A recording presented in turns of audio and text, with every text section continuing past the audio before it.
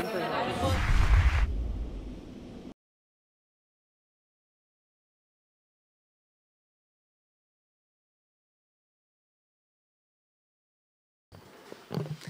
dia, benvinguts.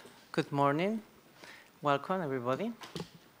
Uh, let's start with the information session about the Marie Sklodowska-Curie action, in particular individual fellowships.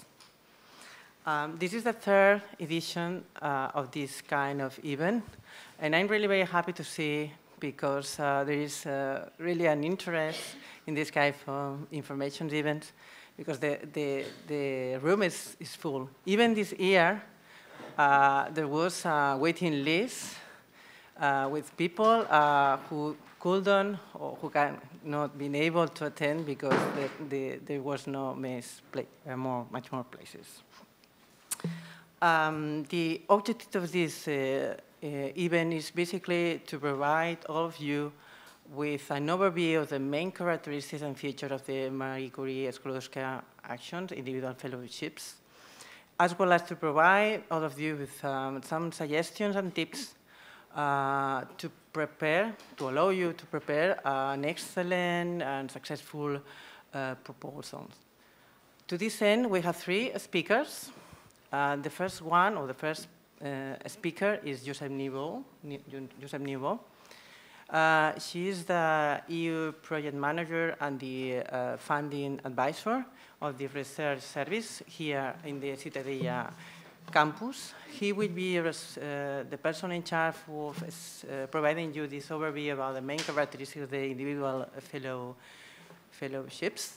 Let me also to introduce the other people in the other campus who, because I think you are coming from different campus here uh, at UPF, uh, they are placed at the end. Okay. Montse Morillas, she is the person, the contact person in the campus MAR.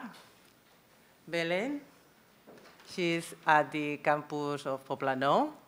If there is somebody else in, campus, in Poblenou campus who is um, Paloma Benamén, she is, she is not here today, but you can contact in any case. And Maria Gil, she is a colleague of Josep Niubó here in Ciutadella. She is more specialized in, uh, in law and neuroscience. Okay. The second speaker is um, Georgios Giannoulis. He's professor of the Department of Humanities, working in the area of digital heritage and virtual reality. He has been and he is evaluator of individual fellowships. And she will uh, explain the process, how it's working, the evaluation, and she will uh, provide you very useful suggestions uh, and tips about how to prepare your proposals. And the third speaker is uh, Judith Chamorro Serven. Judith is over there. Okay. She is a um, beneficiary of a Marie Curie Collection Standard European Fellow at the Department of Information and Communications Technologies. Uh, his research focuses on the biomedical engineering in field to solve medical problems by the use of applied uh, mathematics. She will speak about uh, her project and about her experience in preparing uh, the proposal. She got a very good mark, 99 and full so I'm sure that she will be able to explain you how she do it, how she did. it. At the end, after the speakers, uh, there will be a 20, 30 minutes uh, for your questions. Uh, the presentations will be available on the website, and even um, the session is broadcasted, so this will be also available for you, you want to see again. And well, I'm finished here, and let's start with the presentation, and Josep Niubó will be the first one. Okay, thank you. Uh, thank you, Eva. Uh, good morning, everybody. And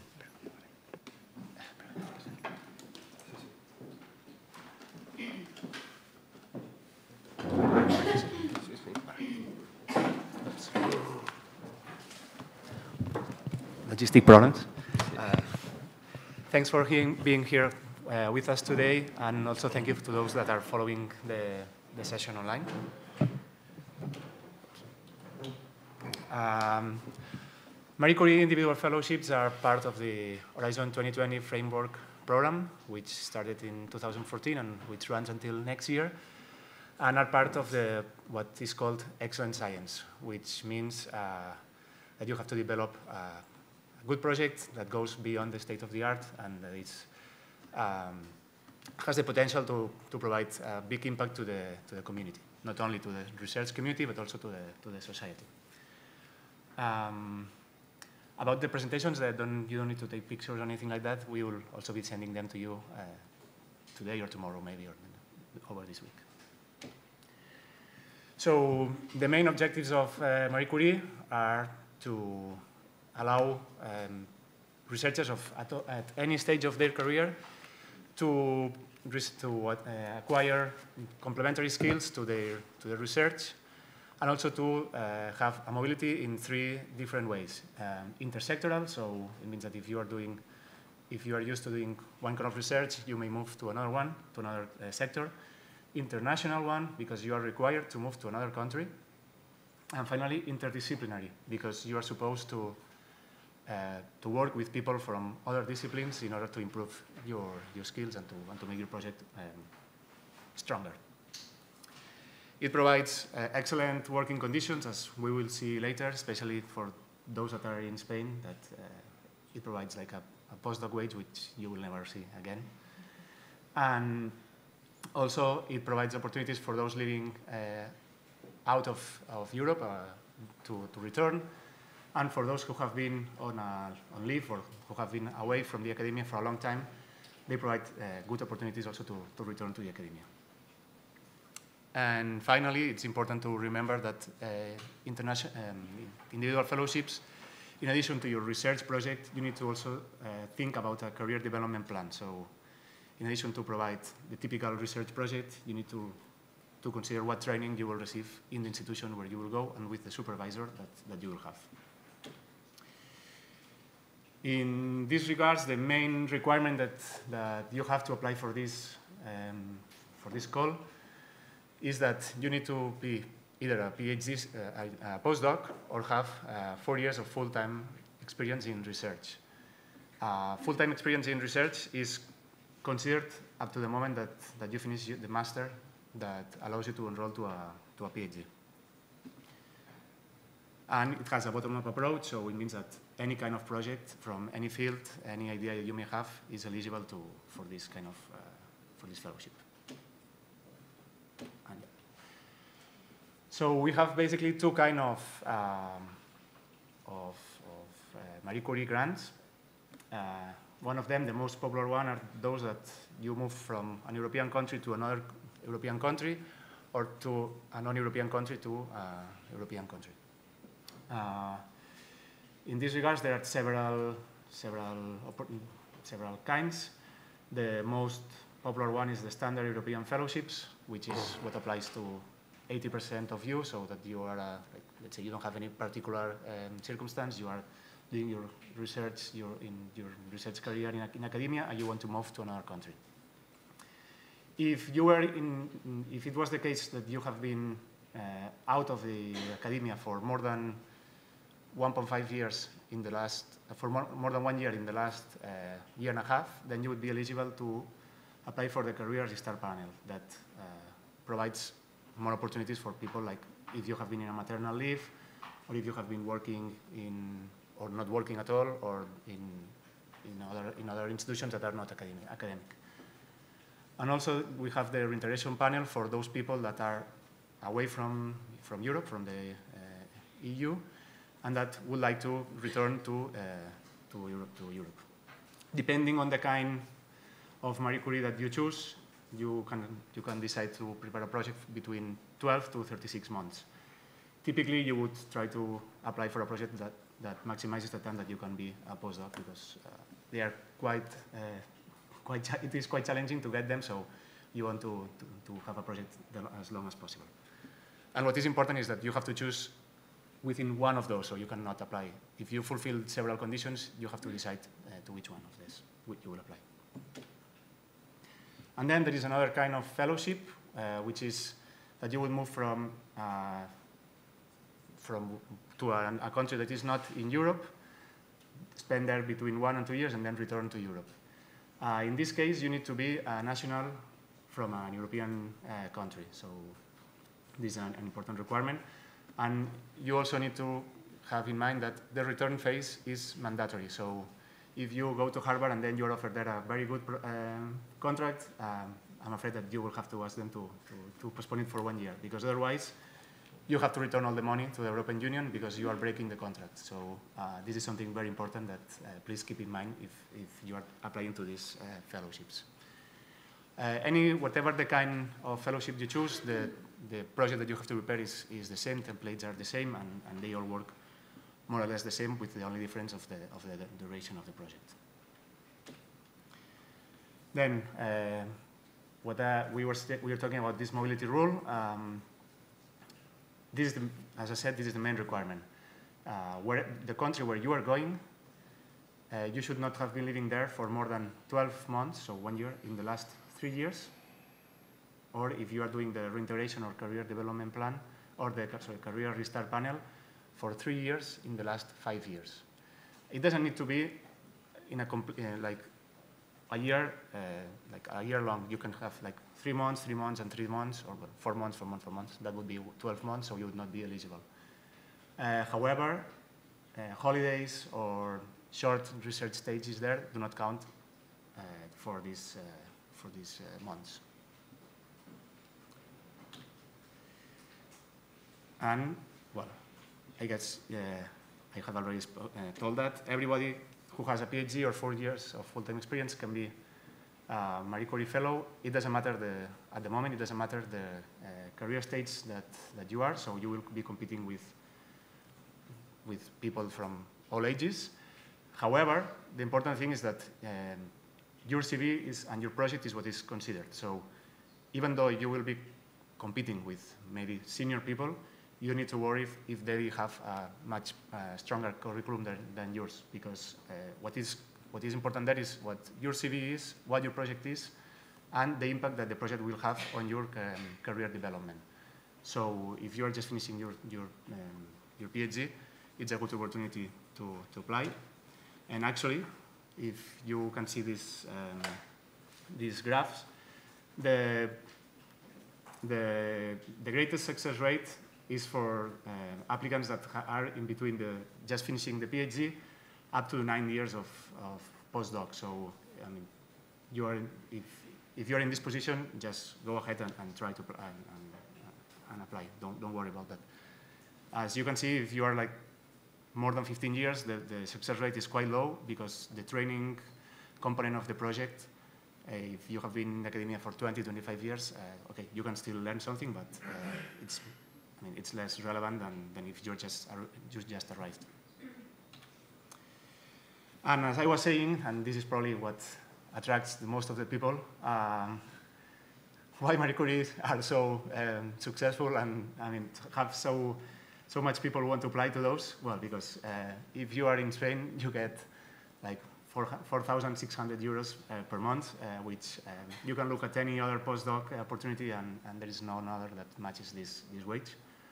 You also get 600 euros per month for um, 800 euros per month for, for research. So at the end, if you are two years, in, if you have a two years project, it, this amounts to 19,000, which is also quite a good, uh, a good amount. And also if you have uh, kids or you are married or you are in a particular family situation, you get a top up to your, to your wage. So it's, I mean, the wage is good and you, and you still get uh, a better one. And what is asked for you in addition to the research project, which we will talk a bit later, and also Judith and, and Georgios will, uh, will make emphasis on that, is the training component, because you are all very good at, at your research topics. Uh, you are probably nobody else knows better than, than you what, what they are about. But sometimes what, uh, what projects fail is in the, in, the, in the training component, because sometimes it's not so obvious. So you need to consider that uh, you have to find a, a, a, supervisor that matches your profile, that, that can help you in, in research, that can provide you new techniques, new instruments, new methodologies, uh, new theories, etc.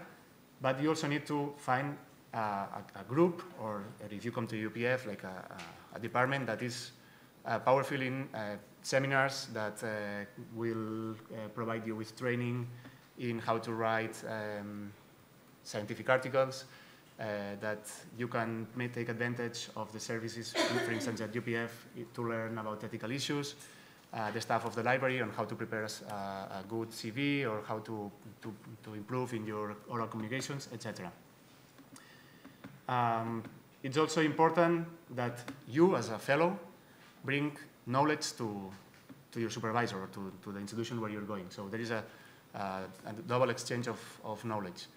And in these regards, you, it's important that all this transfer is linked to your project. So if you're doing a project in uh, medieval history, um, if you are an expert in contemporary history, maybe you need to elaborate why you want to go with this, uh, with this supervisor that is not an expert in your topic. It may happen that it may be a good match, but it's not obvious uh, uh initially, so you will have to elaborate on that.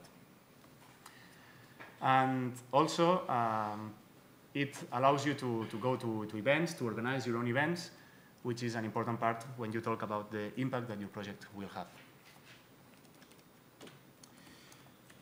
And then another important aspect of, of Marie Curie's, if you've read the Guide for Applicants, uh, is the word secondments.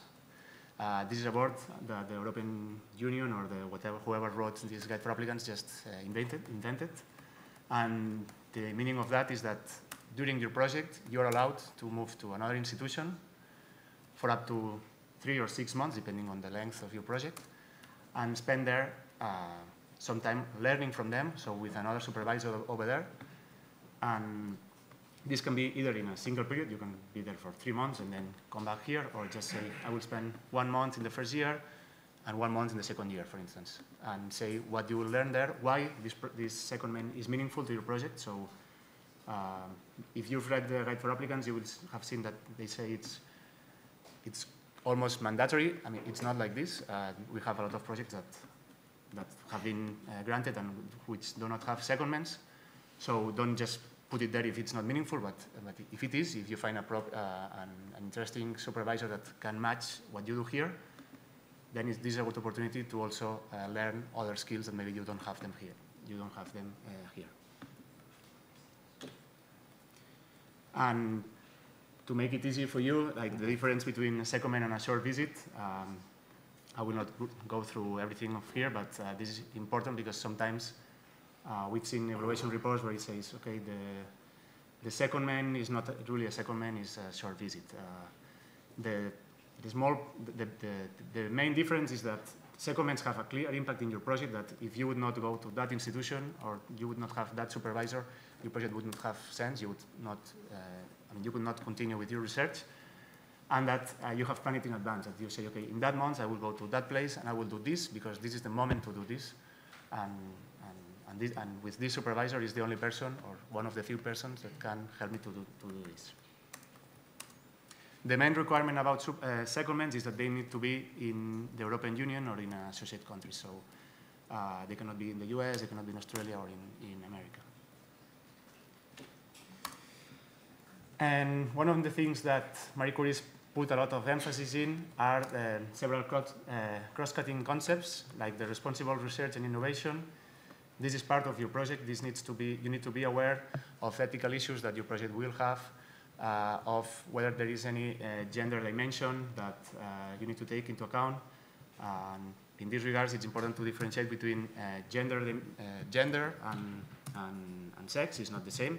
Sex is biological uh, so a man or a woman are men or woman because they have certain differences. Uh, however, what gender is, is like the social meaning that we give to these differences. And the typical ex example in these regards, in these topics are, um, there was uh, uh, projects that were evaluating safe issues in, in safety belts in cars. They would never consider uh, pregnant women so uh, what happened that when there was a crash, uh, pregnant women had more uh, injuries than, than men. So this is something that for one project you need to take into account if it makes sense. If you are studying um, things that do not have, um, if you're doing a maths, a maths uh, project, then maybe there is no gender dimension, but still write it in your application so that evaluators know that you've taken this into account and you just consider that there is no gender dimension in your project. Just write a, a, a short sentence so that they can do the check and say, okay, this person is aware of what uh, of the gender issues in, in research. Uh, here you have a lot of uh, videos and, and, documents that talk about uh, how to address gender issues in, in Marie Curie's and in research projects. Uh, they are quite interesting and, and, and, people that have been using them, they say that relevant for them and that have helped them a lot. So feel free to, to, to browse them and, and to take some ideas from there. And now moving to how to prepare the application, uh, which is probably also something that uh, is important. Um, the first thing is that, okay, the deadline is 11 September, so we are almost in June. We have uh, three months and a half. There is August in between. 11th of September is national holiday in Catalonia. We will not be here. Uh, plan ahead, please. And also, talk to your uh, project managers and, and, and, plan in internal deadlines to how to submit it in advance, etc. Because even if it may look stupid, every year we have excellent projects that don't make the deadline and that are just not submitted. And, and this is a waste of time for you, and it is also a waste of time for us because we're devoting resources to, to projects that are not uh, finally submitted. So if you are willing to submit the project at UPF, talk to your um, project manager, depending of the of the campus, and and as I said, yeah, please plan ahead and, and make sure that you you fulfill all the all, you meet all the deadlines that you have been given. Uh, the application is, I would say, uh, quite simple to, to prepare. You have to, to prepare 10 pages of your research of your research project in these three um, in these three uh, chapters that you have, and then there is another part where you, you put your CV, you explain about how good your institution it is, and if there are ethical issues, you address them. Uh, about the ethical issues, uh, it may be worth noting that the 17th and 18th of June, we are organizing a, a, session with people from the European Commission coming here, and it will be in the main campus. And if you look at our website, you can register there, and it's actually, I mean, you're actually welcome to, to do it because you will receive information from, from people that are actually dealing with, with these issues. And moving to the, to the research, um, to the research part, um, as you have seen from the previous slide, there, is, uh, there are three, uh, three chapters. The excellence one, which is the first one that you see, counts for 50% of, of the project. Uh, does this mean that you have to put all your effort here? No, uh, because uh, as, you, as we will see in, the last, in one of the last slides, this is a very competitive uh, grant, so if you aim for the best in, in each and every one of the, of the chapters, uh, you will not make it. So 50, 30, 20%, it doesn't matter. You have to get a full score in, in, the, three, in the three parts. In excellence is where you speak about what are your project uh, objectives, about your methodology, how you will address the issues, um, why is it relevant that this project is funded, why your supervisor is the, the good, the, the, the best one for you. Uh, for this, please get in touch with your supervisor, of course, and also you can address your uh, research managers that can provide you some information as well about the departments, where you explain the training that you will do. So you have to talk about your career development plan over the project, and this needs to be really in, in detail. You cannot say, I will teach, I will attend courses, I will uh, speak with my supervisor every two weeks. You have to say, I will teach in this course, which is a, know, a master's or a PhD course, etc. I will uh, attend uh, this course in, um, I don't know, grantsmanship. I will speak with this person in the library who will tell me how to prepare a CV that will give me more opportunities to, to receive other grants, etc. So need you need to provide a lot of detail, because otherwise, evaluators know that or, or, feel that you have just put something standard and that, and that you don't really know what, how your institution works. And also, uh, one of the points that uh, it's quite hard to, uh, for you, it's like the last one, And we've highlighted these three words in, in red because it's where you have to say, okay, uh, how, I mean, you have to show that you are able to, to develop the project that you, have, that you are committing to do. And here, what you have to say is, okay, I've, over my research career, I have done this, I have submitted these papers, I have done this. Uh, it's like a little bit speaking about your CV, showing that, that you have the skills that will let you develop this project. Because as you can see, it's like during the fellowship. And this is the difference between the first topic, the first chapter of this second section, where you have to explain why having this project is important for you in the future. So you will say, okay, if I take this project, I will have received training in these research topics, in these uh, soft skills. I will have learned, my network of, of contacts will be uh, much larger, so I will have the, the, opportunities to organize conferences with other people, to, to prepare projects with other people that I do not know, I do not know now, uh, etc. So it looks quite similar as the previous one, but make this difference. Like the first one is during the project, and the other one is after the project. So you have to think about the, about the future.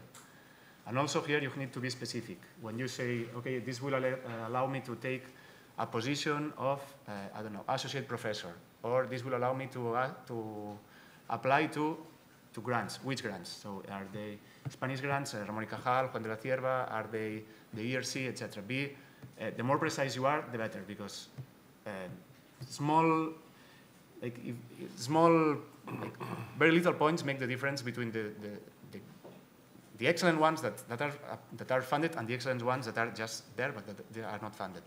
So the, the more precise you are, the, the better. And then the other aspects that you need to talk here are impact, is the impact of your project, which this sometimes is a bit difficult for you because you're very good at, at saying, okay, my project is very good. It's, I mean, we need to do this, but why we need to do this? So, and how will you show that, that this is important? So will you write articles? In what topics and in what journals? So it's not only saying, I will write an article, but okay, I will aim at this Q1 um, journal in my, in, my, in my topic. You need to be, like, again, very, very precise. And you need to take into account the difference between 2.2 and 2.3. What's the difference between dissemination of your, of your research project and what's the difference between communication of, of your research project? Um, communication addresses uh, like normal people who may have no idea at all about what you're doing, who, to whom you cannot talk in really technical uh, aspects. Maybe if you're doing molecular, um, uh, something about uh, reactors, etc. If you talk about the, what uh, potassium does to gold, and in terms, in what terms, people don't understand. So you are writing a, an article maybe in a journal, in a normal journal, or you're going to a, to a school and talk with uh, with last grade people, uh, students, to let them know about what they can do in their life. Um, you, you upload a video in YouTube about explaining about what you do, etc. You, don't look, you are not look, looking for feedback from them. You're just explaining and, and, and trying to, to, to, make the project reach the society, who at the end of the day is who is paying for, for your project. And in the other side, dissemination, it's what you are more used to do, is like going to conferences, uh, writing articles, organizing conferences, etc. And you also need to remember about the exploitation part of the project. So why, once you finish your project, what will happen with your results? Will every, anyone, anyone else be able to, to use them to, to progress in, another, in other stages? Will you be able to prepare, I don't know, an APP or to, to have a, a, a trademark, um, to a patent or something like this? So you need to think, if it applies, you need to think about, about what will happen with your project. And here is what I was, uh, what I was just, just saying. And also some resources to you to, for you to, to, to look and to put some nice words that, that the European Commission likes. And it's, also, it's always important to put communication, to put dissemination, to put exploitation. These words need to be there at some point because evaluators always look, always look for them. So this is all for you to, to read. And then the last part, which it only counts for 20%, and you always do it at the very last, at the very, I mean, it's what you always do at the very end, and you maybe only have one page or two pages. Okay, this is also important. Uh, it counts for, you, for, for your application as much as, as the other parts. Um, this is where you explain how you organize your work. So in, in, I need two years of project because in the first six months I will do this, in the six months I will do that. So you need to actually justify that, that the money that they are giving to you is, is needed for your project. And then you need to talk about uh, any risks that your project will have. All projects have risks, so if you don't find one, just give it another, another go, because uh, a risk is, it may be that uh, you need a, a certain source and, and, and, this is not available because it's in Philippines and you cannot go to Philippines because, uh, I don't know, you're not allowed to get into the country, whatever. So this is a risk and you have to say, how will you uh, overcome this risk?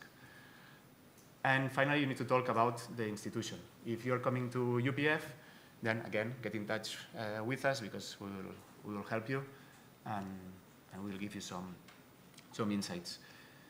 Um, as I said, this part typically takes like from 1.5 to 2 pages, more or less. Impact would be also two pages, and the first, uh, the first uh, chapter, it's between four or five pages, more or less. If you have your excellence in eight pages, then okay, you have to summarize it because otherwise uh, you will get five points in excellence, but you will get zero in, in other sites. So you will not get the project. And one thing that you are uh, requested to include in your application is, uh, is the Gantt chart. Um, there are many ways of doing a Gantt chart. You can do a very sophisticated one, or you can do a very simple one like this one. Um, don't waste a lot of time on doing that, because at the end, uh, evaluators, most of them, if they print the project, they print it in black and white. So if you have a lot of colors, uh, it doesn't matter. The, it, it, all, it all looks the same. And if it's like very powerful, uh, very strong colors, like a very uh, red and, and, green, it, it, would all, it would all look like, like black, so it, it doesn't matter. And here we put some examples of, of Gantt charts with different, uh, different ideas. There, we've chosen the, the simplest one so that, that you see that these are all from uh, actually successful projects. So uh, this shows you that you don't need to, to spend two days working on, on the Gantt chart. Just do something simple that people can understand and, and, that, that's useful also for you to organize your, your plan. And then finally, uh, some tips on how to prepare your proposal. Um, the, the, the, call opened uh, a couple of months ago. Uh, we said the deadline is 11 September. Then in February, you will have the results. Hopefully, they will be successful. Then you will have two or three months to prepare the, the grant agreement with the institution. We will help you with that, don't worry. And then you can start your project from April or May next year, and you have one year to start the project. So you can consider that you will be able to start it from April, May till March or April 2021. As general tips, of course, read the guide for applicants. This is very important. Uh, talk to your project manager you have to always try to make your project relevant to the European Union. So maybe at the start of the project, you can say, okay, this is what I'm going to do, and why is this important? Because in the commission, in the European Commission, there was one session about uh, refugees, and Juncker said blah blah blah blah blah blah, and I'm talking about refugees, so my project is, is important because the president of the Commission said that my project is important, or try to find a way to, to, to make it to make it relevant a lot of tips. We will not go um, about all of them. Um, I think the most important one is be clear in, in, in all parts. Do not repeat anything, even if some parts look repetitive. Do not repeat anything because then you're losing space. And also, um, uh, be nice to evaluators, I would say. So don't do, uh, don't do st uh, strange things with format. Just use a, a normal, a normal font, uh, use with bold, use with italics, with uh, underline, but don't start doing like a lot of different uh, fonts, etc. Because, uh, because as Georgios, I guess he would say, I mean, their job is not to evaluate. They have their, their own job, and then they are asked to evaluate. So they do it in the subway when their kids are sleeping, in the plane, and and they want it to be easy and, and something uh, quick. And what I guess it's important to you, and this may be a little bit uh, of a disappointment, but Georges then will encourage you to, to, to, to apply, uh, are the cutoff scores from the last five years. Uh, as you will see, you need to, to aim for 100% points, so you cannot, uh, so you have to, to do it a, a perfect one, in, because uh, there is only one panel which is below 90, so um, all other, I mean, and it's 89, so uh, you need to you need to aim for perfection. So this means that you have to start working from your project. Of uh, you need to start working now. Uh, talk to your supervisor. So get feedback from from him or from her. talk to your research office. Get feedback from your project managers. If you have a friend who has already submitted a Marie Curie, it, no matter if if has been successful or not, ask for, feed from, for feedback from them as well, for people who are not in, in your field, because anything that, any feedback that you can receive, this is important. It's, it, it's important.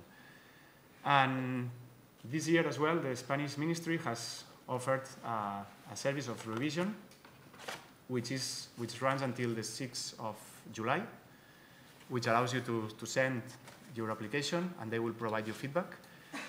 This, you need to do it through us, through the, your research office. So you will have to send us your research, your research proposal, and we will be able to send it to the, to the evaluators.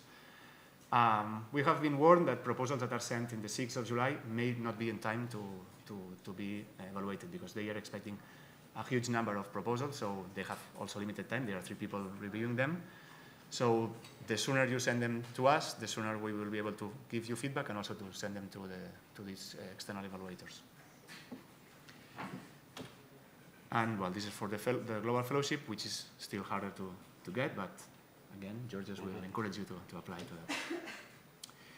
And how can we help you from, from UPF?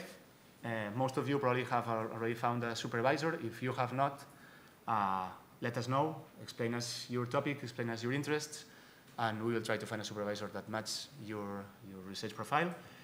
Uh, we will guide you through the, through the process and give you advice. Uh, we have some material that we provide only to those that are applying from UPF, some, um, some, some templates with useful documents, some uh, fact sheets, some, uh, well, whatever, even we, we, revi we revise your, your project, so just get in touch with us. And please uh, follow this deadline because uh, at the moment we have more than 50 people willing to apply. We have limited resources. We are five or six people only working on that. And we are not only working on that, we have other, other, other projects as well. So please, uh, the most important thing is 10th of June, uh, 11th of September is national holiday. We will not be here, we will not be answering emails. So everything must be done by the 10th of September. Um, of course, if you do it in advance, much better because we will have time to, to go through it, to review, to find any potential last minute issue and to, to address it. And, and, and of course, we are almost, we're always willing to, to, to help you and, and, and any of us will be like willing to answer any question that you may have, which you can actually address to this, to this um, email address here, putting the subject, uh, MSK, MSCA and the department where you were that where you are willing to to to address the the question so that it helps us to not to having to read all the all the questions. And well, that's it from for my side. I think I, I made the time, and we'll have time for questions uh, later on.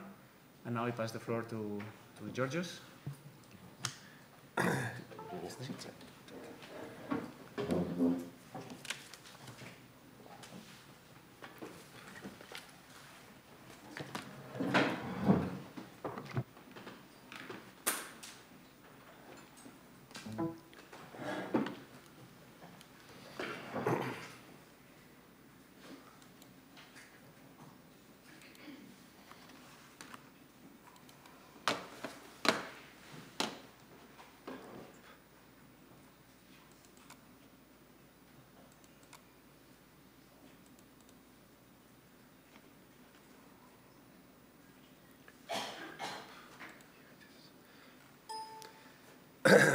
So, uh, thank you for being here.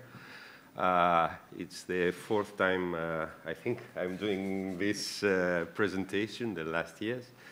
And I'm very happy to do it because it seems it has, uh, with a lot of effort of the students and of the team here of the university, has brought results. Uh, Josep told me that last year, just in the humanities, uh, the UPF had four uh, Marie Curie fellowships, which is a very good score, uh, specifically for humanities. Uh, it used to be very difficult for the people coming out from human sciences to set up good proposals, but now I think uh, the younger students, they are really improving their engineering skills because you need some engineering skills that are not included in the humanities background uh, in order to set up a proposal. Uh, in the overall, the UPF had eight uh, uh, successful proposals, which is also a very good score for the size of the, the university and uh, for the competition that is around Europe. So as uh, Josep said, Marie Curie is a part of a wider set of programs uh, that are aiming to improve uh, and to develop the European research and pro promote researchers' mobility, training, and excellence. Please keep these three words. It's mobility, training, and excellence. Uh, and it also promotes, through the international part of the program, the mobility of the researchers, training, and European excellence worldwide. Uh, again, note these three words. Uh, and I, I'm just uh, insisting in that because what you really have to do is not only to have a great idea, is that there is somebody who pays for this idea. And the one who pays for this idea has its own priorities. So you can have the greatest idea of the world.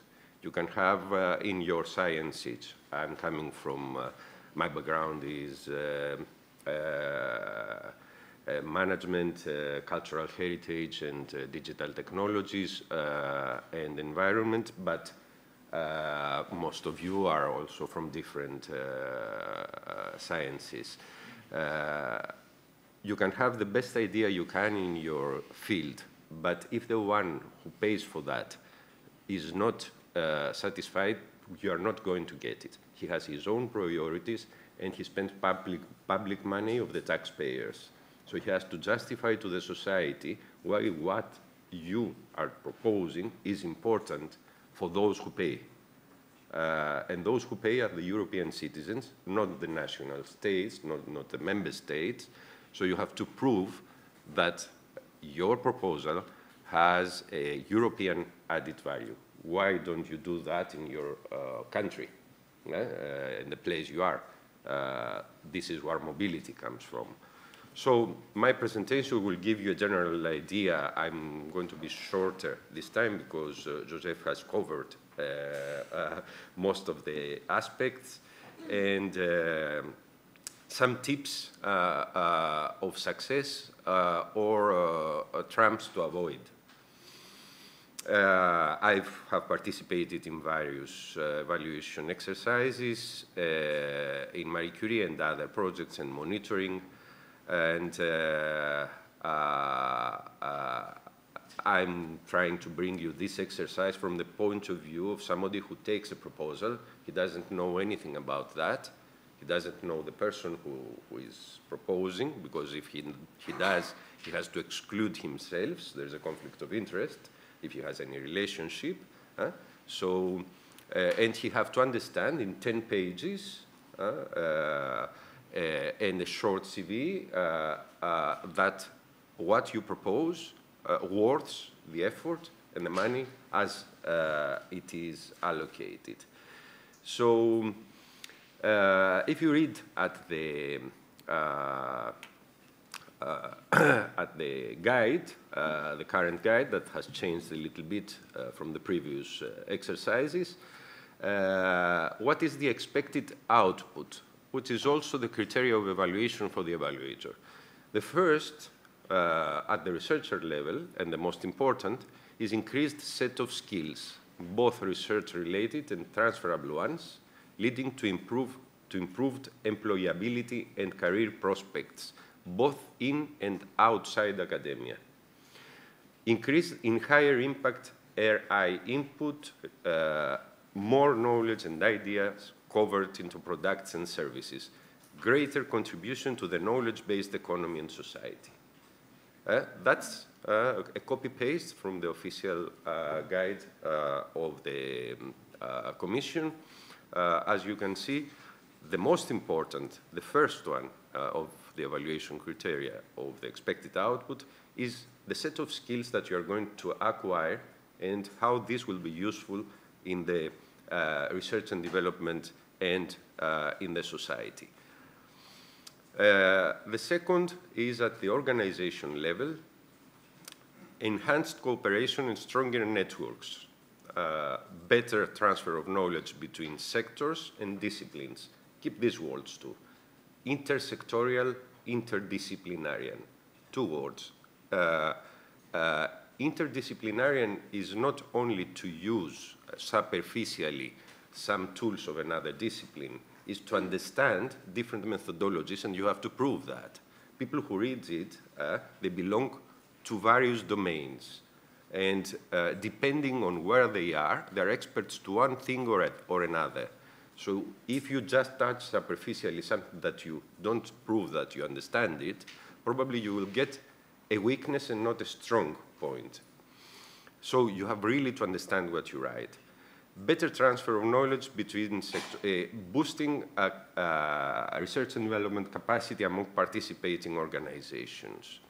Uh, you have also, as Josep said before, you have to prove that what you're going to do will transfer knowledge and skills from one organization to the other. Huh? If you are going from uh, I don't know, a, a, a university in uh, Germany to UPF, or the contrary, you have to prove that you are going to transfer knowledge from, the from one to another. So you have to prove that there is something here that there isn't there, and there is something there that there is not here. Uh, that's how you prove it. And you have to explain how that missing thing you're going to provide and bring it to the organization that you're going, and what feedback you're going to, to, to provide to, your, uh, to the other organization. then uh, at system level, uh, international, interdisciplinary and intersectoral mobility of researchers in Europe. Strengthening of Europe's human capital base with more entrepreneurial and better trained researchers better communication of results to society, increase in Europe's attractiveness as a leading destination for research, better quality research and innovation contributing to Europe's competitiveness and growth. Uh, please take all that into account when you are thinking of your proposal. You could think of a proposal that I'm going to study the manuscripts of, uh, I don't know, uh, of the 18th century in, uh, in, uh, in a monastery in comparison with other monasteries, etc. But that is not enough. It could be very interesting for you. Uh, you have to persuade why this is interesting for the taxpayer to pay it. it's, a, it's a very important thing. In what part and why this is not paid at a national level or at a regional level, and it has to be paid at a European level.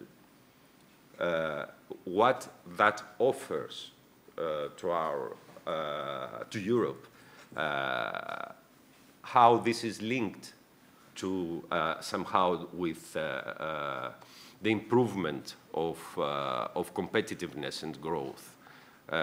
is that it is not easy always for humanities to prove that. in other sciences, more difficult. But there are many ideas uh, how you can prove it. Uh, there are things that are sectors that are linked, such as tourism, such as uh, that is attracted by uh, uh, cultural assets, such as education, such as mm, interdisciplinary impact. Uh, you are producing something in language that can be used, for example, in informatics, uh, uh, thesaurus or something like that. That depends on, on your idea, but you have to address these issues. And uh, this is what uh, the evaluation of this year is including. The excellence is the quality of the selection, recruitment process for the researchers, transparency, composition, organization of selection committees, evaluation criteria, equal opportunities. Quality of the research options offered by the program in terms of science, interdisciplinarity, intersectoriality, and level of transnational mobility quality of career guidance and training, including supervision arrangements and training. Impact, that is the 30%. Uh, the 50% is the excellence. But this is what is considered excellence. Is not only the excellent idea.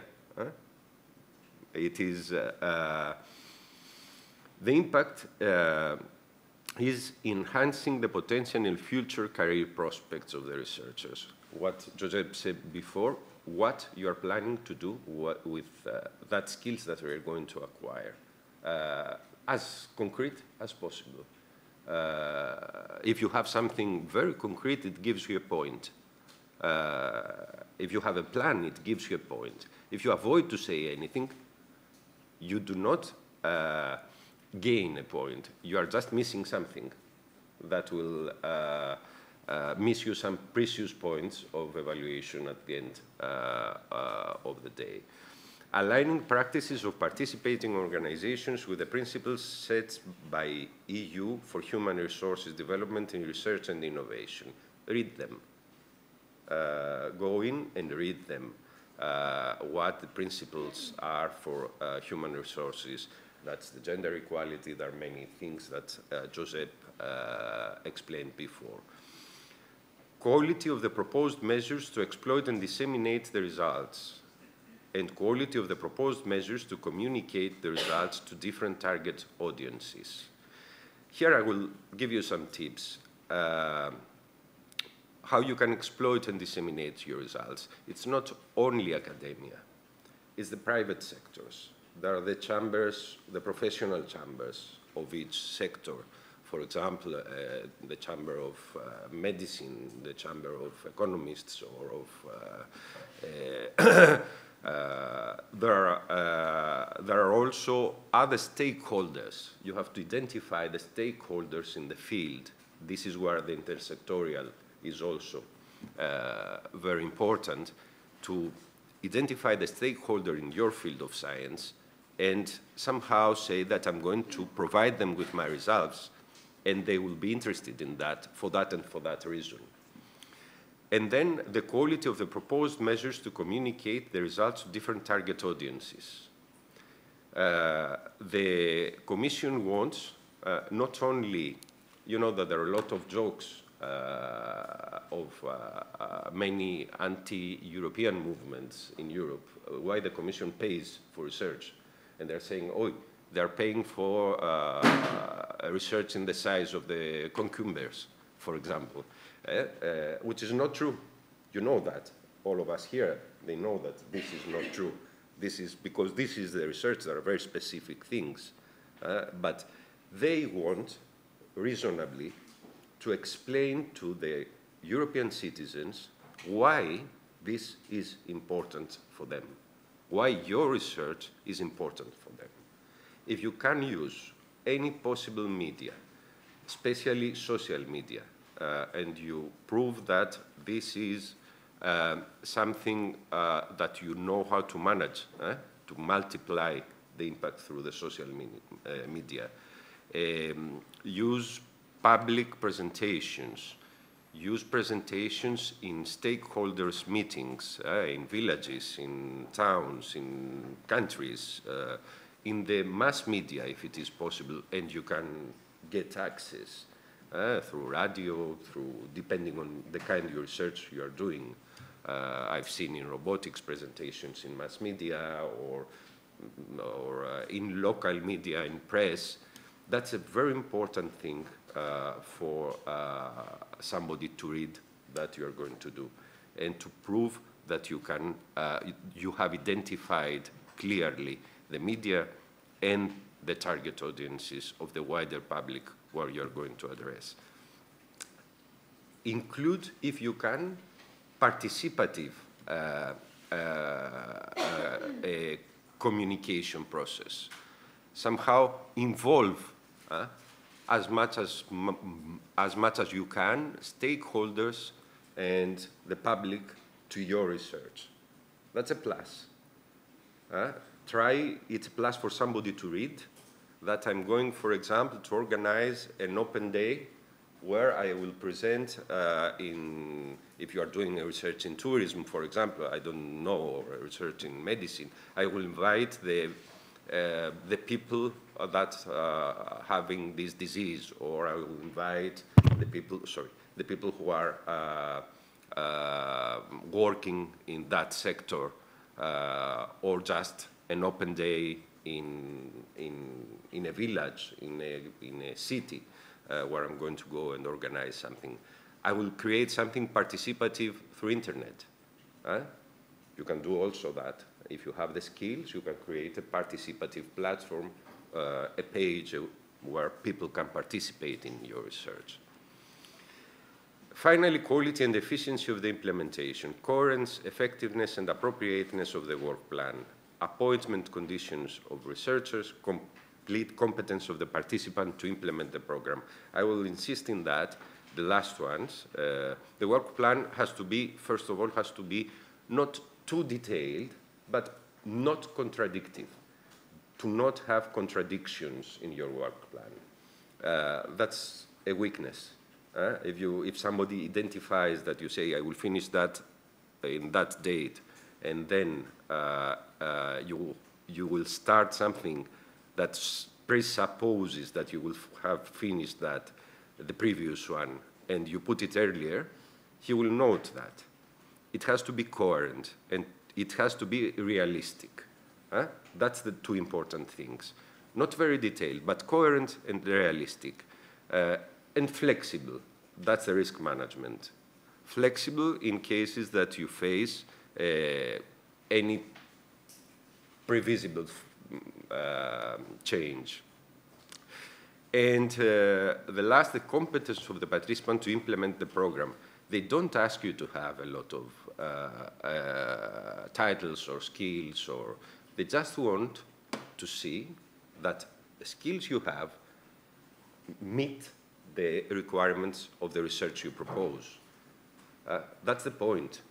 Uh, you, if you have a, a, huge CV, but you propose a research that uh, a project that this huge CV does not uh, fit with uh, the project, you'll have a problem. You can have a very small CV with few publications, very limited publications or actions, but it is exactly covering the needs of the project you are going to do. So they're not evaluating persons that, uh, reading the CV, they're just verifying that you can do the job. Uh, and you can do it well because you did some things in the past and you can document it. So, uh, to make an overall, besides the great research idea that I'm sure that each one of you has, uh, uh, the main issues are that is a training thing. It's not uh, uh, a research uh, by itself project. it's to improve your training, to, to improve your skills and competencies. Is the European added value. It is a mobility. You have to prove why you are doing that in European level is interdisciplinarity, multidisciplinarity, and intersectorial versus single discipline projects. And uh, finally, communication dissemination to academy and, and society by all means. Uh, uh, participative approach of stakeholders or citizens in your project.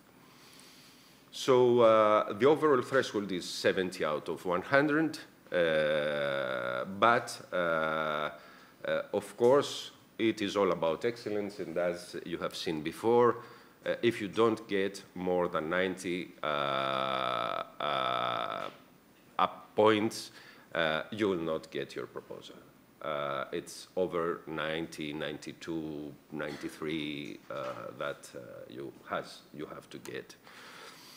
Uh, successful, successful proposals, my experience in ECOSOC have they reached the zone of 4.5 to 5 to all criteria. Uh, if you fo follow less than uh, this in one criteria, you cannot manage it. Uh, the evaluators are called to evaluate each one of the things that I talked before, uh, following a strengths and weaknesses scheme. They write down for each one of criteria and sub-criteria uh, something very simple, strengths and weaknesses. What is the strong point and what is missing? The important thing is to avoid to have weaknesses. Each weakness that is marked, that's something missing, some contradiction, some whatever, costs you uh, some 0.1 or 0.2. That depends on the, uh, on the, on the proposal and the, the agreement of the evaluators, of course. So uh, the people who are going to evaluate your proposal are multidisciplinary, are coming from various backgrounds and various professional origins. Some are not researchers, are only professionals in their sector, are experts in something. They have uh, different scientific sensitivities. Don't insult other sciences. Don't, yes, I've seen that. I mean, you know, don't take positions uh, like that. Uh, I, I don't mean the word insult, but somebody can take something like pejorative for his own field. Eh? Try to avoid that. Um, uh, have, uh, they have an overall view, impression, and comparative approach. It is a, a game of details. Uh, there is a negotiation process which, is, which is limited uh, by personal strong views, complementarity, and finally compromise uh, among the evaluators. Uh, and there are also extreme cases and processes to deal with when there are strong disagreements and, uh, and uh, um, uh, between them. the proposals in numbers in 2018, it was 9,830. In 2017, uh, 800 less. In 2016, uh, a bit less. They're going up. They're growing. Probably they will, this year they will uh, go up of uh, one uh, of 10,000. Uh, however, it is one of the most successful projects of Europe, and the budget is also increased this year in the next programs for uh, the Marie Curie fellowships and the ATN projects. Uh, and it is a good thing that in the level of Europe, we understand that uh, this is what creates our uh, common, uh, common excellence in, in all the fields and of economy. Uh, in 2018, it was 7,000 in uh, standard European fellowships, uh, 352 in Career Restart model, 561 uh, in society in reintegration panel, and society and enterprise 173. That's the recent data.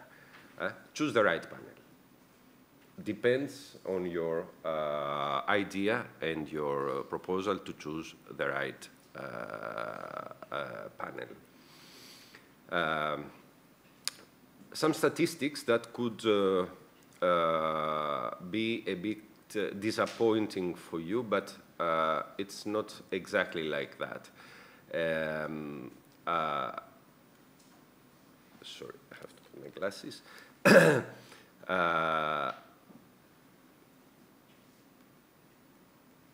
here it is.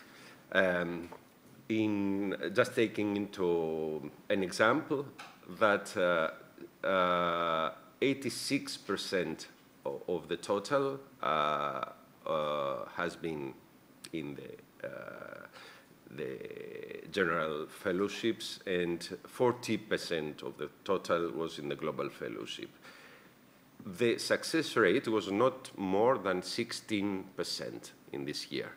Approximately, it is probably a bit lower now uh, because there are more proposals and uh, less uh, uh, uh and less and more competition.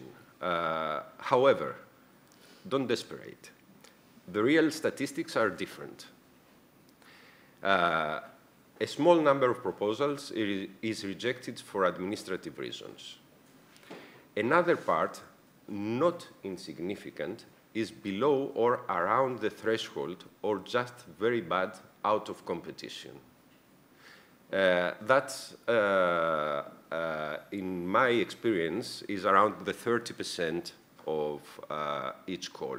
Uh, however, it can vary considerably depending on the year and the topic and the call, but it, it's around 30%.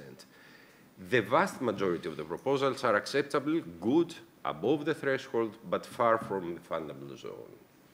Uh, another 30% approach, approximately. The remaining 30 and, uh, to 35% are your real competitors. If you can do an excellent proposal, make the effort if you are just going to put uh, a trash uh, to see the reaction for the next year, I suggest you not to do it uh, because uh, you, you mostly create a problem of reputation to your organizations and your uh, supervisors uh, than gives you any advantage.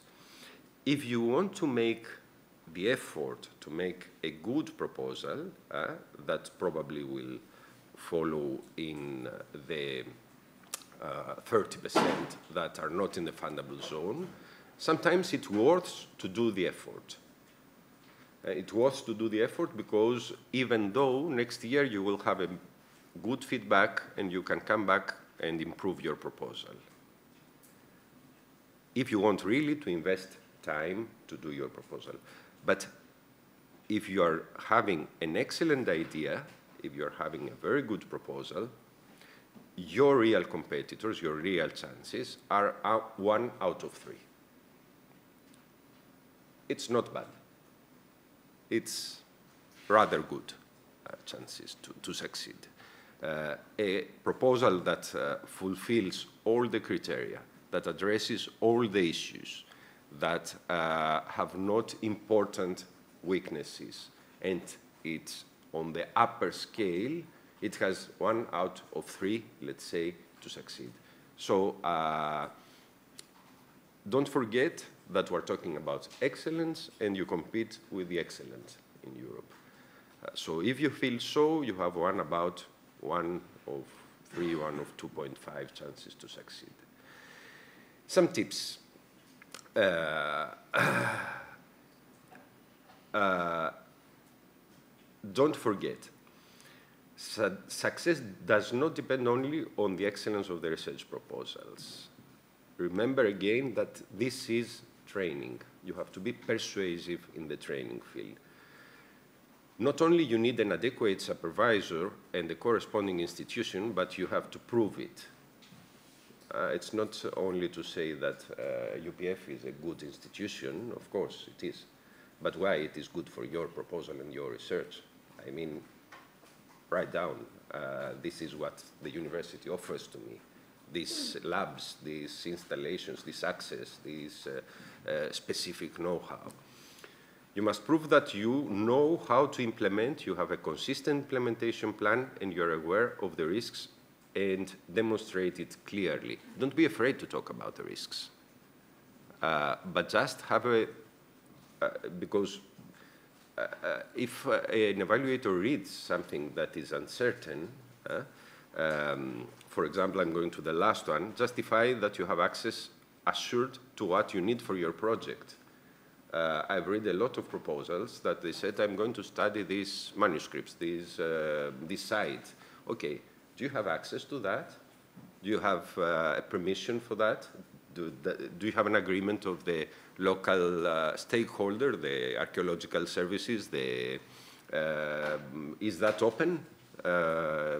Uh, uh, you're doing something in, uh, in, in the rainforest, I don't know. Can you get there? Just prove it. And, um, and that what you get uh, you are going to make it also as open as possible. I understand there are many things that are covered by copyrights, and the commissions understand that. Uh, the Commission understands that. Or there are ethical limitations, specifically in when you are doing research on intangible heritage or uh, medical research, or uh, uh and it involves persons, uh, names, etc. Uh, if there are, explain them. It's not rejected. Just explain what the limitations are, what we are going to make public, what are the ethical limitations, and how you are going to deal with that.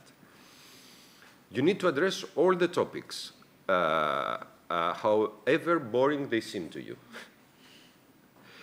Impact, European added value, wide public, scientific communi communi uh, dissemination, etc. If you don't address them, you will lose your time. It's a pity, but you will lose your time if you have topics that you do not address. There will be weaknesses that will cut you points, and you can have a very good proposal that will not get funded. Uh, don't forget that uh, that is always taxpayers' money, and the Commission wants the taxpayers to know what they pay for. Uh, don't tire the evaluations, the evaluators. Make it easy for them to understand, to localize the necessary information and the corresponding sections. Refer to it when it is presented already elsewhere to avoid repetition and save pages. Just a small tip. Sometimes one thing, you said it uh, for training, for example, uh, or for what you're going to do for dissemination uh, in the first part of excellence, because it's part of your proposal, of the core of your proposal if you want to, to win space, uh, don't repeat it again when you are going back to the session of the, you, you are going down to the session of the dissemination. But make, make a reference, a short reference, as I told in uh, the page one, I will uh, do that. I, have read a lot of proposals, and you know, sometimes the evaluators are reading rapidly or they are going to they have to fight for that because I was saying, oh, the guy told that, uh, he talked about that, but it was before. Uh, and the other was saying, okay, why he, he, he, he doesn't read it here? Uh, why it is not under this section? He, you know, uh, it's a, a, very simple thing to make the life easier and to not make them that, uh, to feel that something is missing where it should be.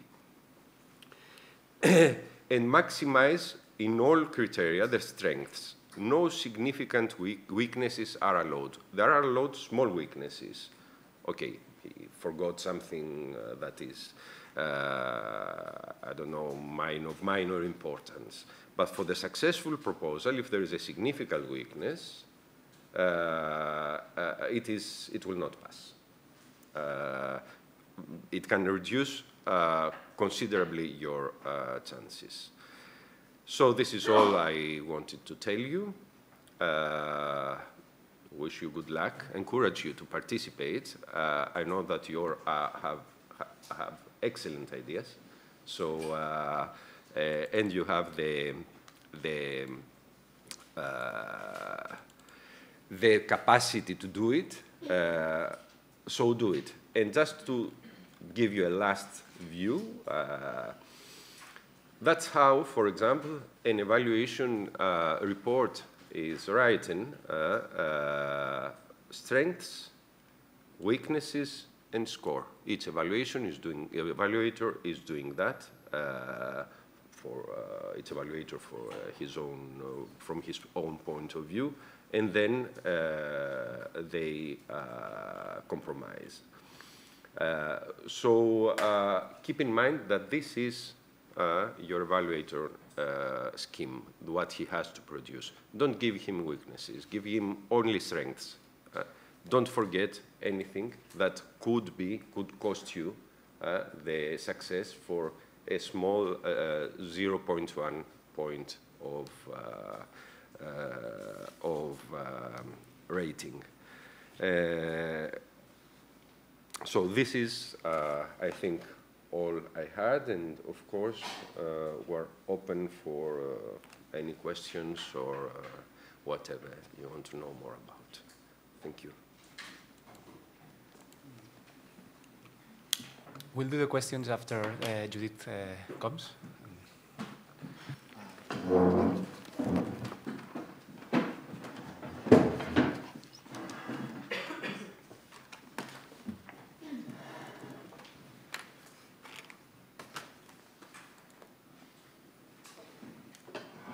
Good morning. As they told you, I am a Marie Curie fellow, but they did not tell you that I applied before and I did not get. I was above the threshold, but I did not get.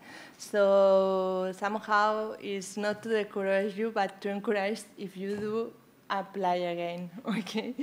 So going to the things, uh, let's say that the Marie Curie, um, it, as they say, they have a and weaknesses that they will evaluate. One thing that helped me a lot is this survivor's guide here, the survivor's guide uh, from page, I think, uh, until from 20 to 37, it has a lot of key points and also kind of strengths and weaknesses from other years. So it's very good to check if you have everything in the every key point in your in the position that must be. The other thing, as George said, do not repeat things. So you have only 10 pages for the part B1, that is not a lot. So what I would recommend you is start with the section 4 and the section 5 because you have five pages for your CV and you have one page for the organization. In the case of global fellowship, you have one page for both uh, uh, hosts. But at the same time, somehow, if you have five pages for your CV, you could take advantage of it on your section 1-3 or on your section 3-4 and the, th the same thing uh, I mean, you can take advantage of the other in, I say it differently, but uh, I mean, the section 4 you take advantage in one four and two one, and the section 5 you take advantage in the one three and three four, okay? So see them as he told you before. And the other thing, you need to make the evaluator remember your grant. I was not very good in, in acronyms, so these two web pages helped me a lot to find an acronym. And the other thing is, at the beginning, they have an abstract, so you need to take the, make him like or her like your project, so somehow try to make the best of your abstract. It's an abstract of your proposal, it's not about your project, so you need to summarize your project, of course, but also you need to outline that you know what the Marie Curie grants want to achieve.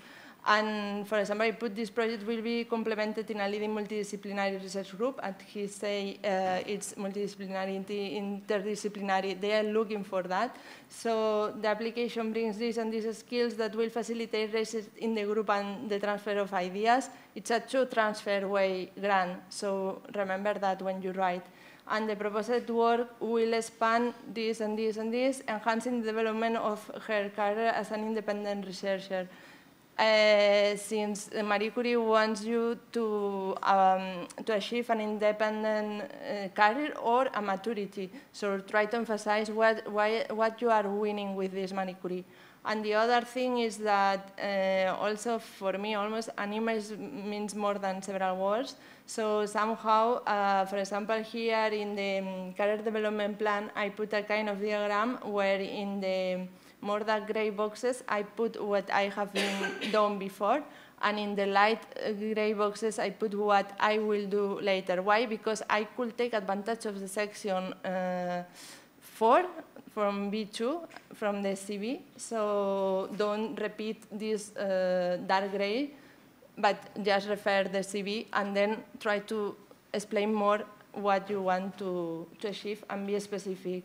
So say, for example, I will try to apply later on to this grant, this ERC or this Ramon y Cajal, whatever, but put specific things.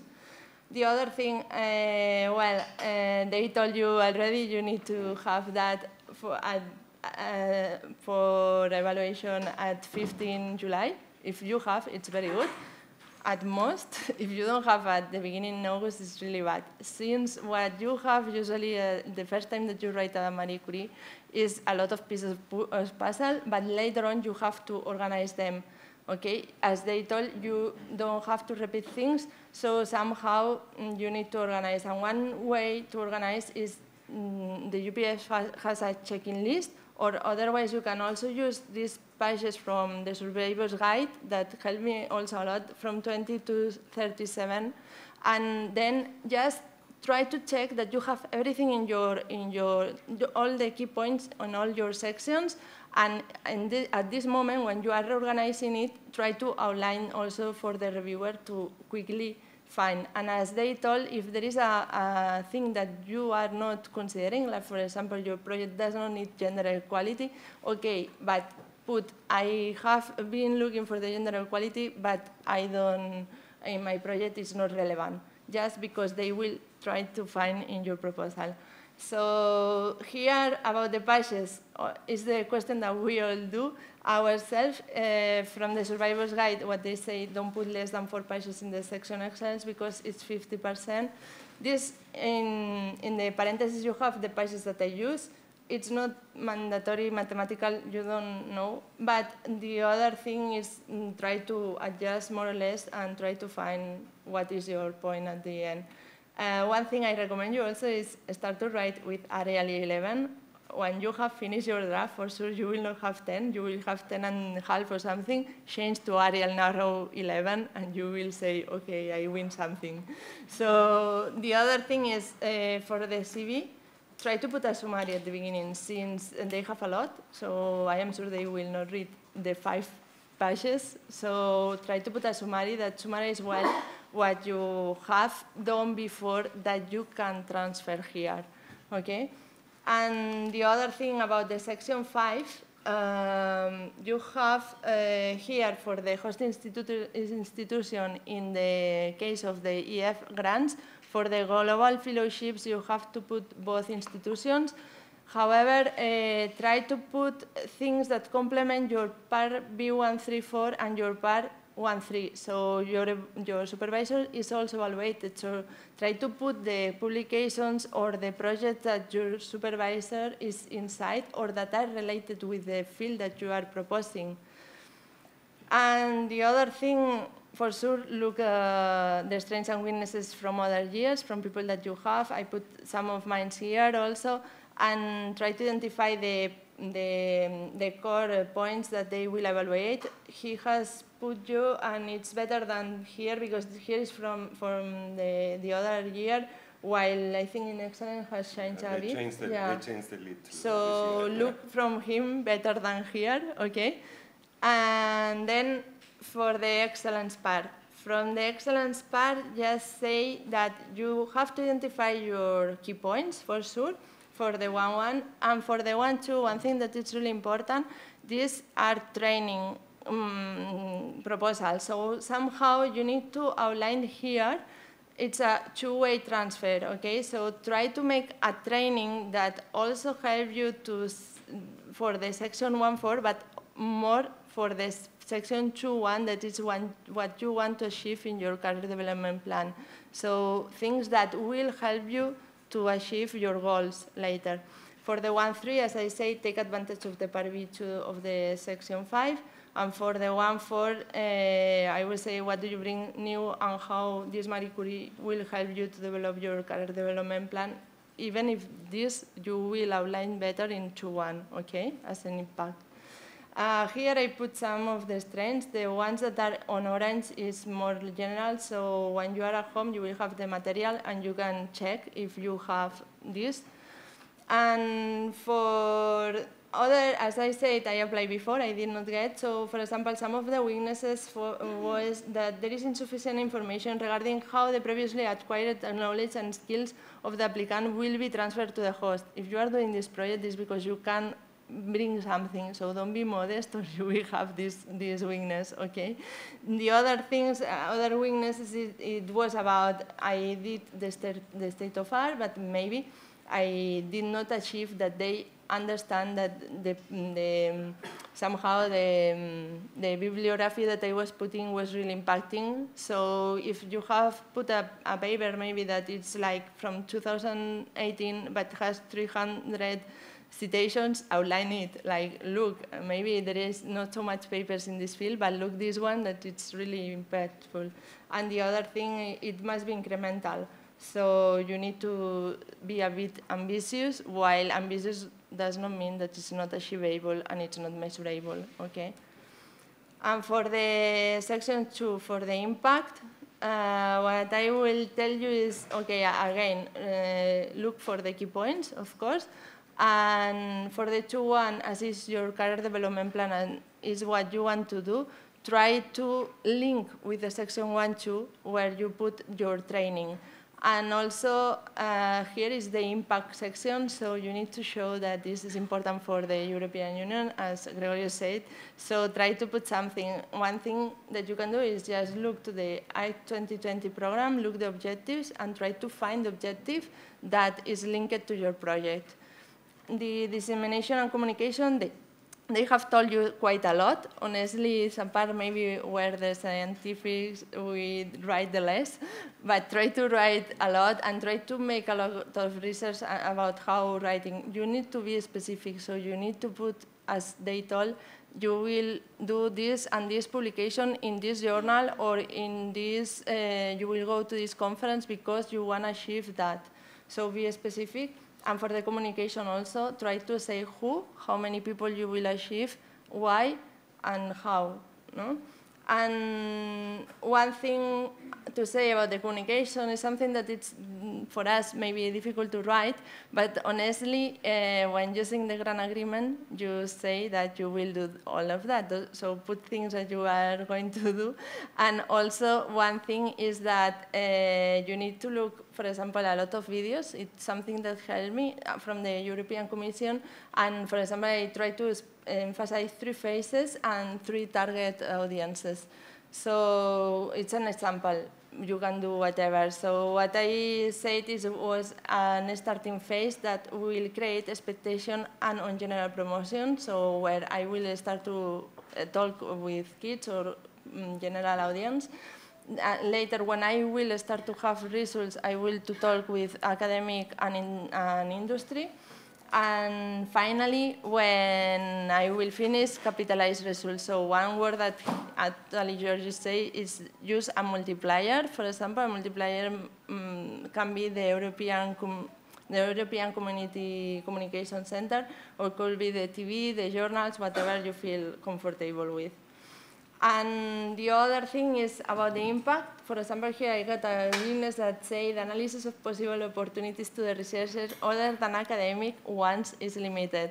Okay, as he told, you have uh, to say for academic and for industry. So even if your goal is doing for academic, outline something that you could do for industry in case of you need and the other thing about the applications from before, say for one thing that I want to remark is for resubmissions. I was doing a resubmission and they told me the benefits to the candidate might be incremental rather than transformational. The researcher already has a position within the host group, while I was inside of the mobility rule. So what I will tell you is, if it is your case that you are reapplying or you are um, how um, kind of uh, applying with the host where you are now, kind of outline what you will learn from the moment that you will start the Marie Curie. For example, if a new machine is coming or a, or a researcher from outside is coming that uh, will bring something new to the institution, something. Otherwise, you can get this weakness. And well, uh, always detail, so always specific, otherwise you will say further detail is required, is required to be fully convincing, okay?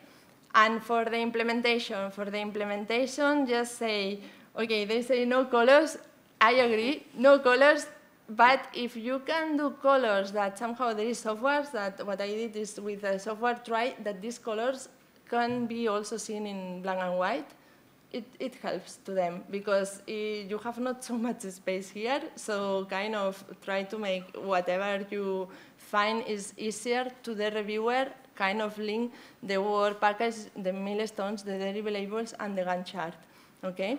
So later for the 3.2 also you have some key points here, and for the 3.3, I will recommend to put a table of risk and contingency plan, but uh, it's risk of your project, but it can be also about administration or financial or whatever, okay?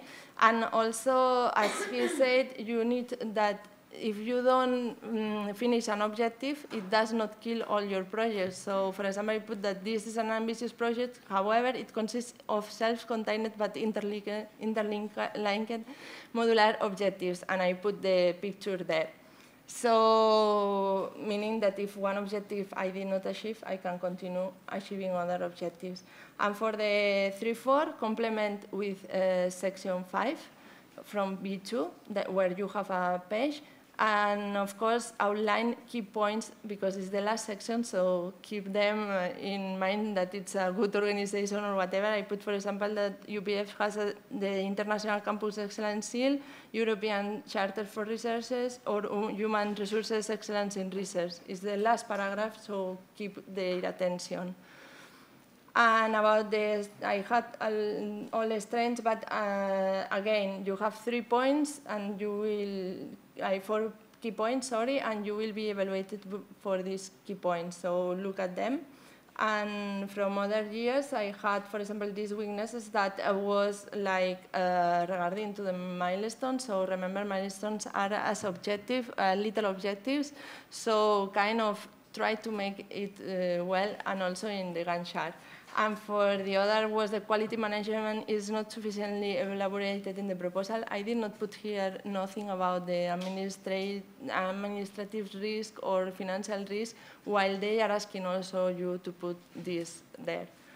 And good luck, all the best, and hope you get. And it's a good deal, even if it is uh, a lot of consuming time. Okay, thank you.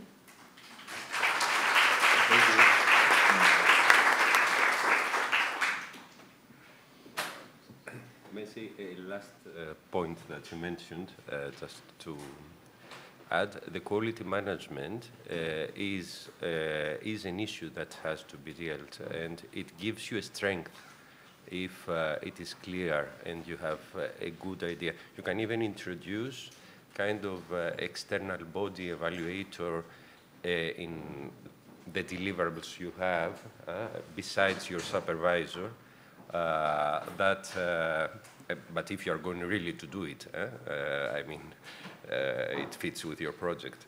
Uh, to prove that you have a quality management in the process of your proposal. It gives some, some additional points.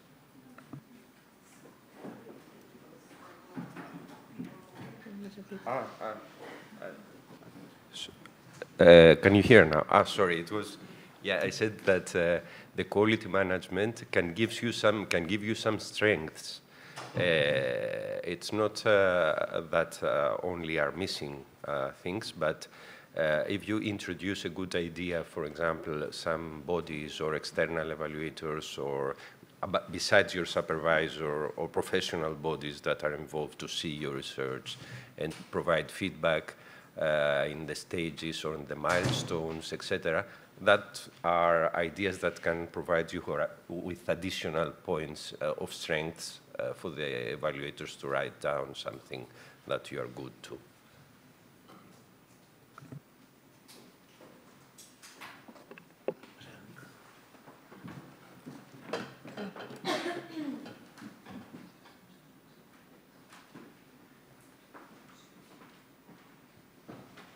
Thank you. First of all, thank you very much for all your presentations. I think they were really useful.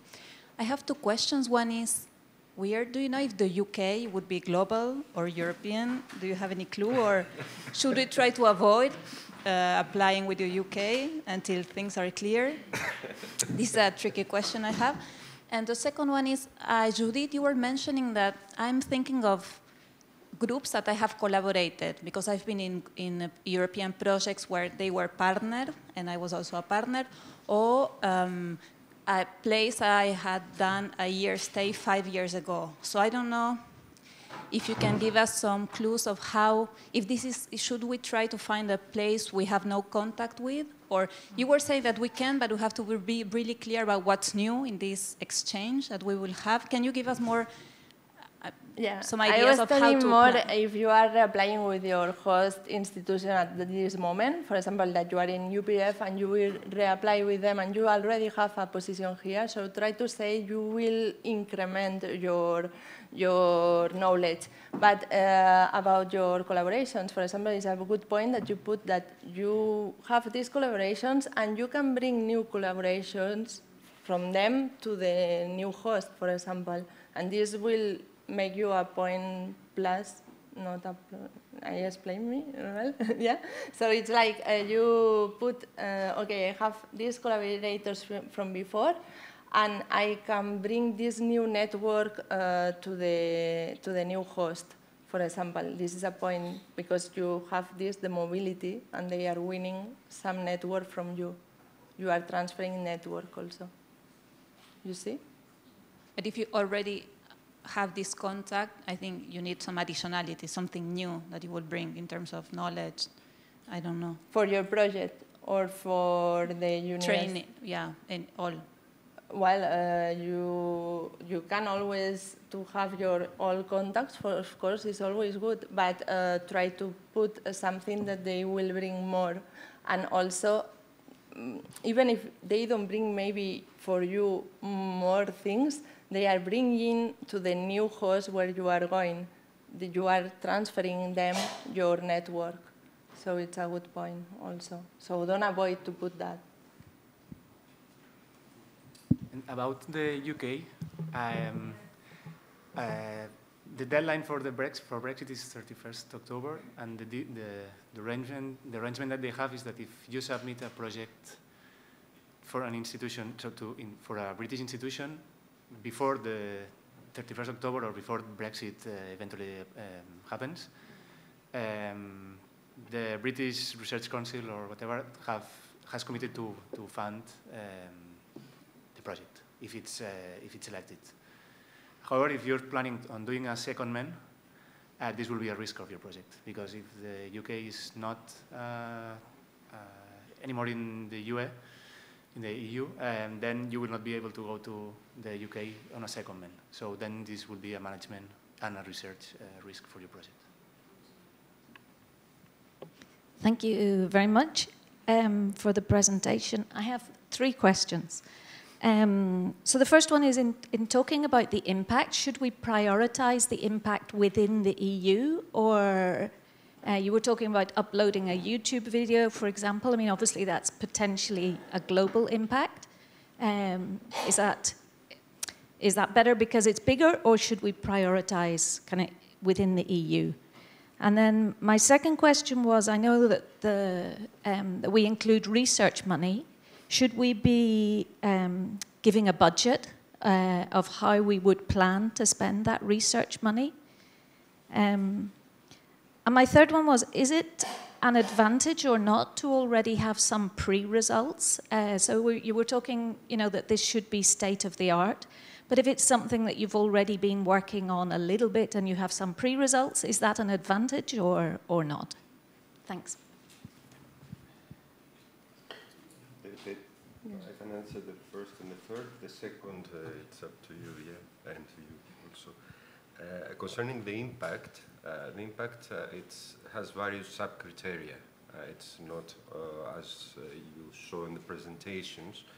there is the European excellence first, which means that, of course, if you prove that you improve the European excellence worldwide and it has an impact worldwide, is a plus. But certainly, it has to have an impact concrete in something happening in Europe. That means that uh, you're going to create something in Europe that can have, if it, you can prove that it can have a worldwide uh, output, uh, that's a plus. but it will uh, start by improving the European research, the European uh, excellence in that field, uh, or the um, growth, or the um, innovation, or the economy, or the society, or the European citizens. Uh, and that's why, uh, as Josep uh, told before, they ask if you move abroad even, they ask you to come back in order to to make Europe to gain from what the, the European taxpayers pay, not the Americans. Uh, so the impact uh, should be uh, societally, economically, and in research improvement speaking in Europe. And through Europe to have a worldwide impact, a worldwide excellence, it is very important too also in the dissemination, in the communication. If the world entire, for example, you make a cultural project where is my field, and you produce something that can have a worldwide impact uh, in Europe, it is a plus, of course. And the last question was the, uh, sorry? Um, about having pre-results, if you already have some... Pre-results? Yeah. That depends on what you mean by pre-results. Uh, if you, if you, uh, depends on your objective. Uh, if your objective is a state of the art and an excellent idea, uh, you have to show how you're going from what the uh, actual state of the art is to the new uh, idea, to the innovation. If you can document uh, by that that you have advanced already in the state of the art, somehow outside of the Marie Curie Fellowship and you have something that it proves it, it's a plus, of course, uh, that uh, you'll put it in your CV probably, mm. and you'll put it in, uh, in the first section uh, uh, where you document your excellence.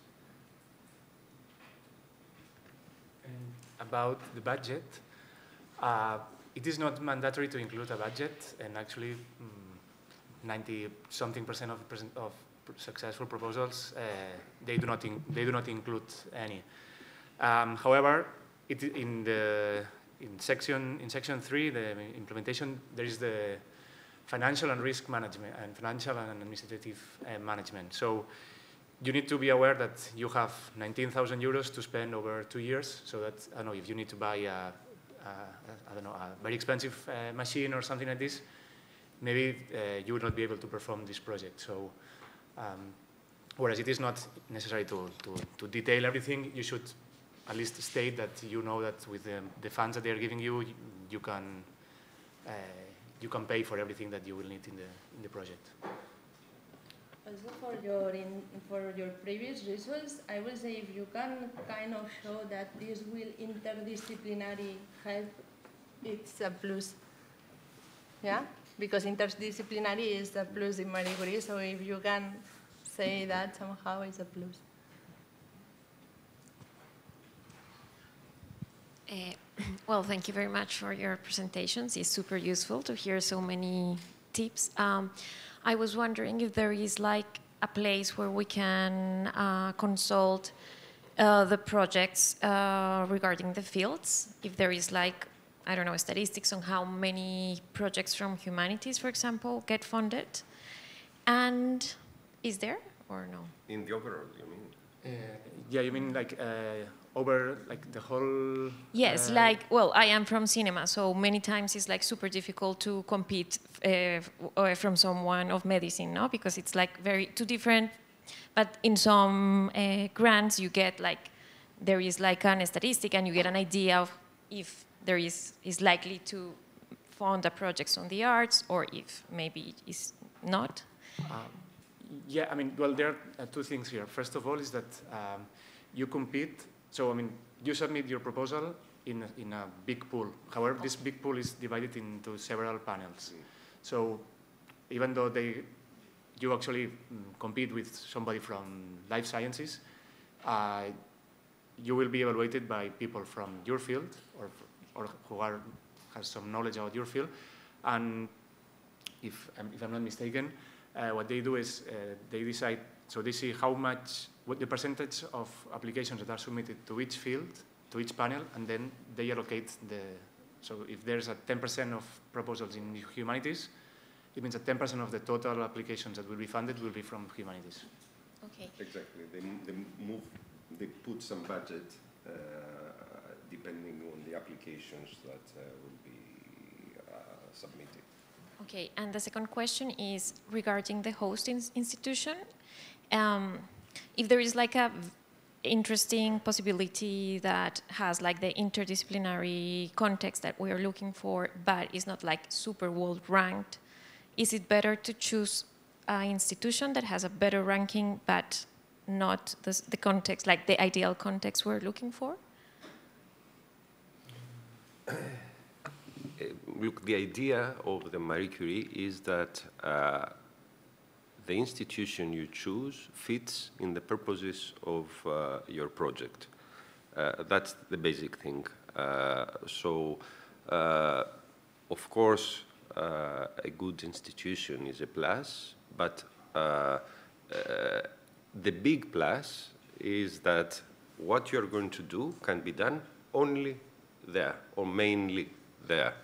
Uh, if it is a smaller or more, mm, let's say, uh, it will not be considered as far as it is not a dam. You know, it's not a, a, an institution that uh, is somehow. I've seen these kind of proposals, uh, institutions that were uh, almost strangely inexistent, but uh, it's not the case. I mean, but you have to prove why this institution is the one that is good for your research, for you.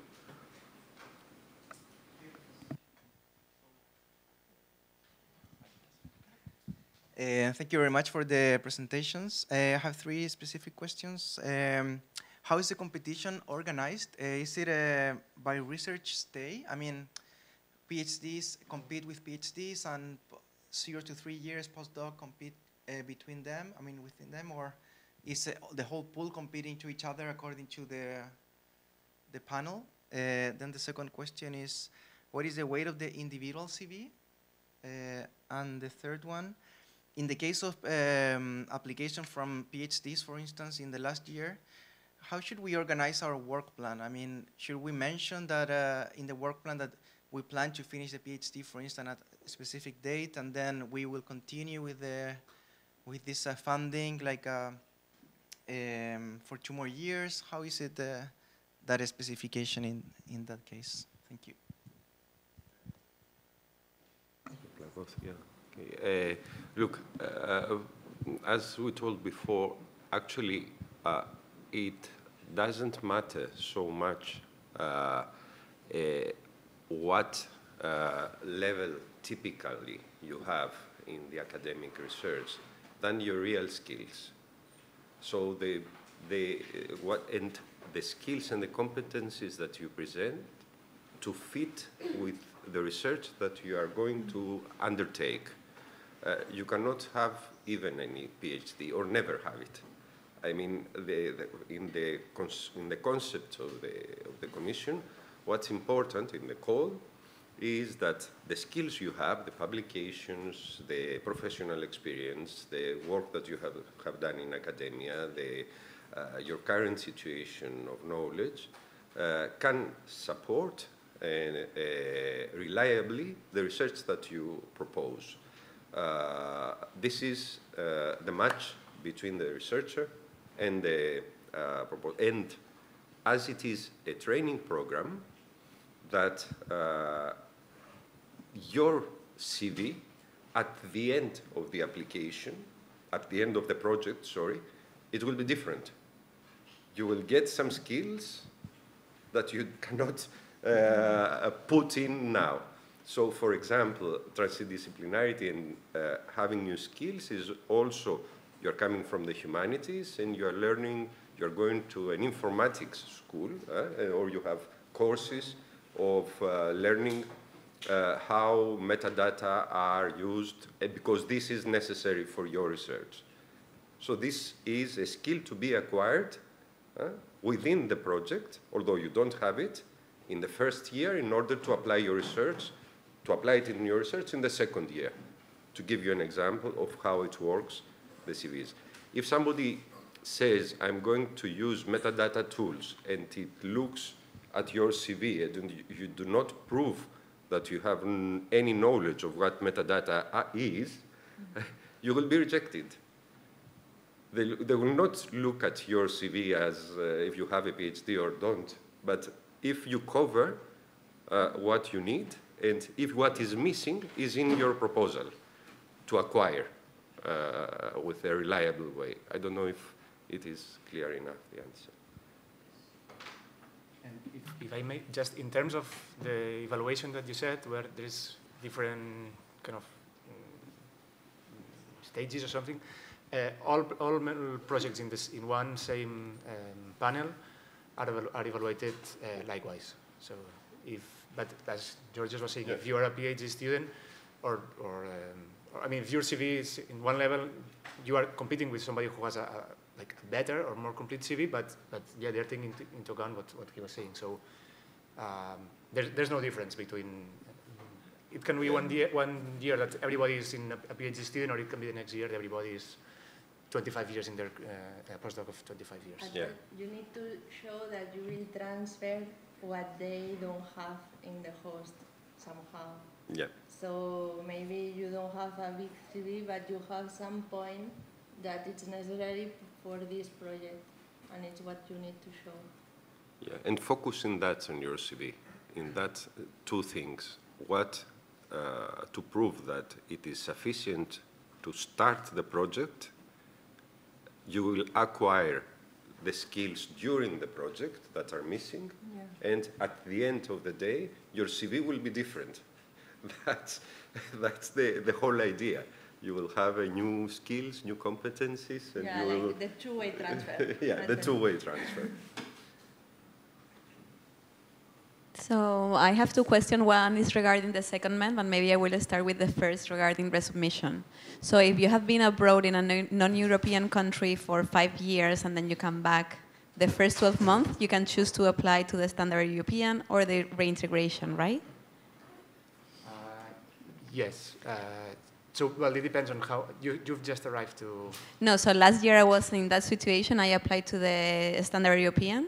Uh-huh. I get the seal of excellence topped 15%, but didn't get the funding. So this year I will need to apply to the reintegration because it's already more than 12 months that I have okay. been yeah. at UPF. So this is a resubmission, but do I need to state that it's a resubmission? Is it any good to put that I have the seal of excellence, or should I refurnish the whole application to make it more appealing? Um, actually, it's not a, a, resubmission because a resubmission is if you're applying the same project with the same supervision supervisor and with the same um, category and the same category. Okay. So if it's if you were in, in, in European and now you're coming you're going to reintegration, first of all you can prepare a three-year project, which it will be, make it already different and so it's not a resubmission. And so should I state that I got a grant before with the seal of excellence that didn't get funding? Maybe or? you can put it in your in your CV. Okay. Uh, you can, um, this this very same question was asked last week in the in the in the info day that the national contact point did in in in Catalonia and and they didn't have a uh, like a, uh, an answer for that. They said maybe you can put it in your CV. Um, they always say that not to put anything from previous evaluations in your in your um, in your proposal. So not to say this was considered a strength previously, or I've this was a weakness, and I have now I have done this to make it better. Okay. Just if you want to put this in the CV. So I will use the evaluation, but not state that I have used the evaluation to make it better. Yeah, exactly. Yeah, no, because uh, the evaluators are not the same persons. Okay. Uh, they, you're not going to be evaluated by the same persons that have evaluated you last year will be some somebody else, most probably. Okay. Uh, it's by luck. And then regarding the secondment, I was very surprised that you don't need a letter of approval from the supervisor of the secondment. So um, does it help at all? It's, it's very striking. If I'm in politics, I can say that my secondment will be in the White House, and I don't need to state that I will be approved. So Ah, well, you have to. Well, in the White House, you could you wouldn't be able because it's in the U.S. But you yeah. could say in the yeah. But uh, they trust that you're not uh, that you're not lying, and then at the end of the project, you will be asked for a report. So, uh, if you don't, if you've promised a secondment or any activity and then you haven't done it, whatever the reason it is, you have to explain why. And if it's considered uh, a super important task and you haven't done it, you may receive a bad report and, and some. um, But in the grant agreement, it will be there, right? yeah, yeah. So the, what your proposal, how the way you submit it, is if it's approved, it goes as it is in the grant agreement. Okay. The proposals are, are also monitored. I mean, you, that's why they ask for, uh, you have to submit your deliverables, you have to submit your, uh, uh, what it is written, and there are monitors who are looking at them. And if you promise something that you don't do it, of course you are going to have problems. it means they can stop your, even uh, the commission can stop the funding at the middle if, if, if they realize that in the first year you have not done or submitted what you should submit, or the second year they can just put a red card and stop it, or even ask back the funding at uh, the end of the day. Uh, so you cannot promise things that, of course, you can have small. That's why the risk management uh, exists. You can have small um, uh, objectives or uh, failures, or but uh, not important things. If you say I'm going to, to do this segment in this museum and because this will give me these skills, and you don't do it, you have to explain why and what will you substitute it with if you don't have it in the risk management. Yeah, Well, that's the, clear. the Trump has not accepted me in the White House, for example, you know. Exactly. Thank you. Which is not usual. it's very frequent now to change.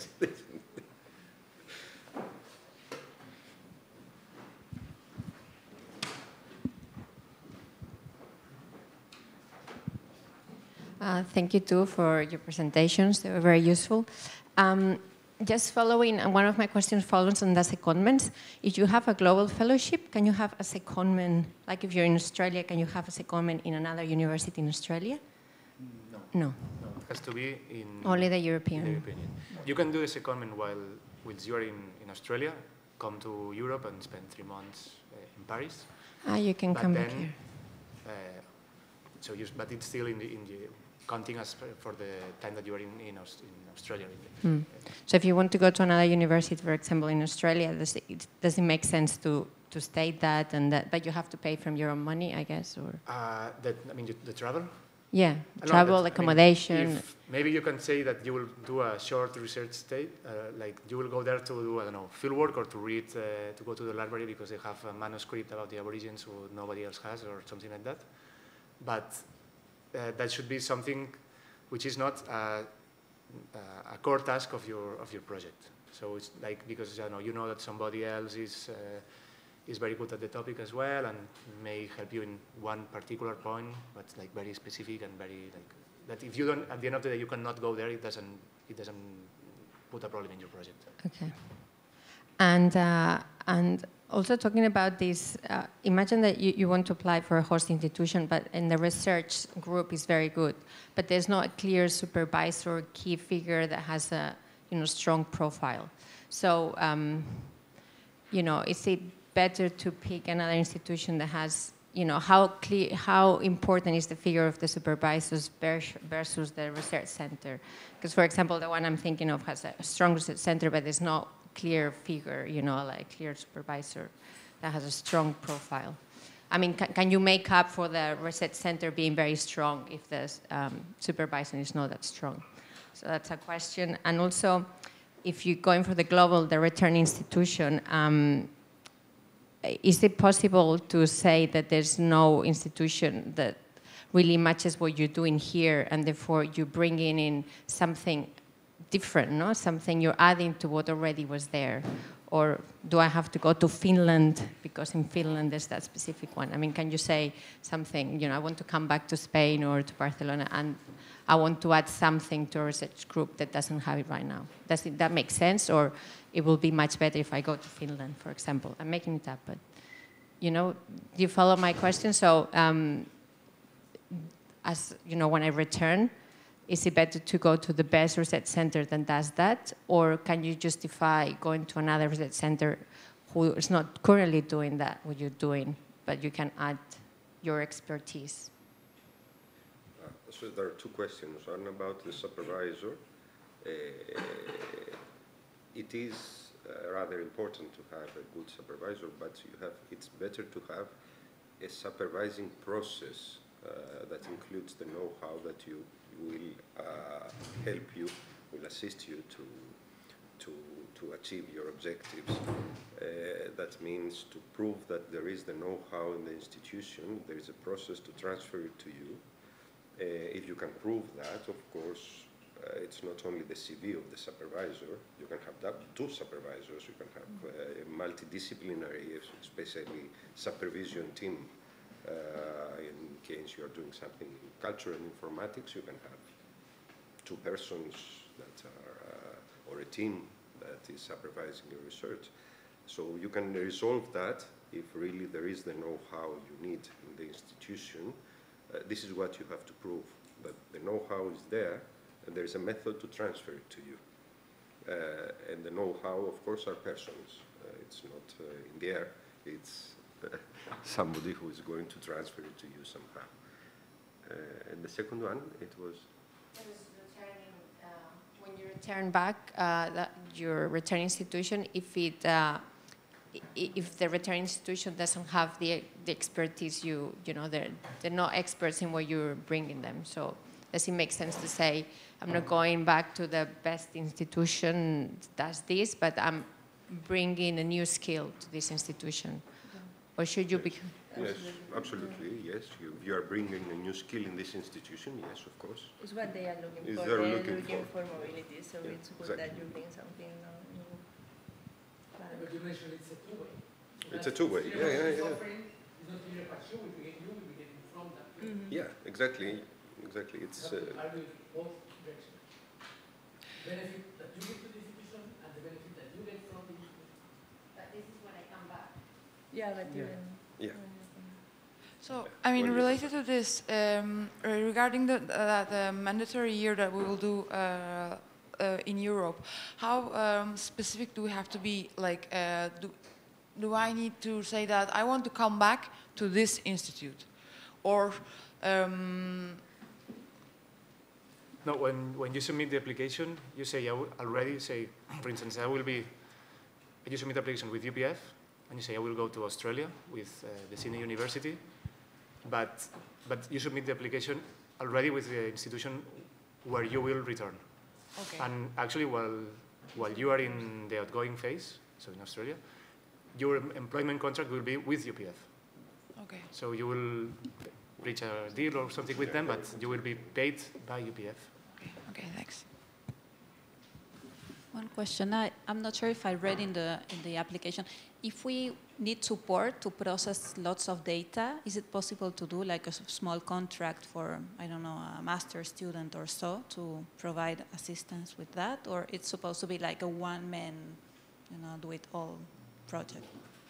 Yes, woman.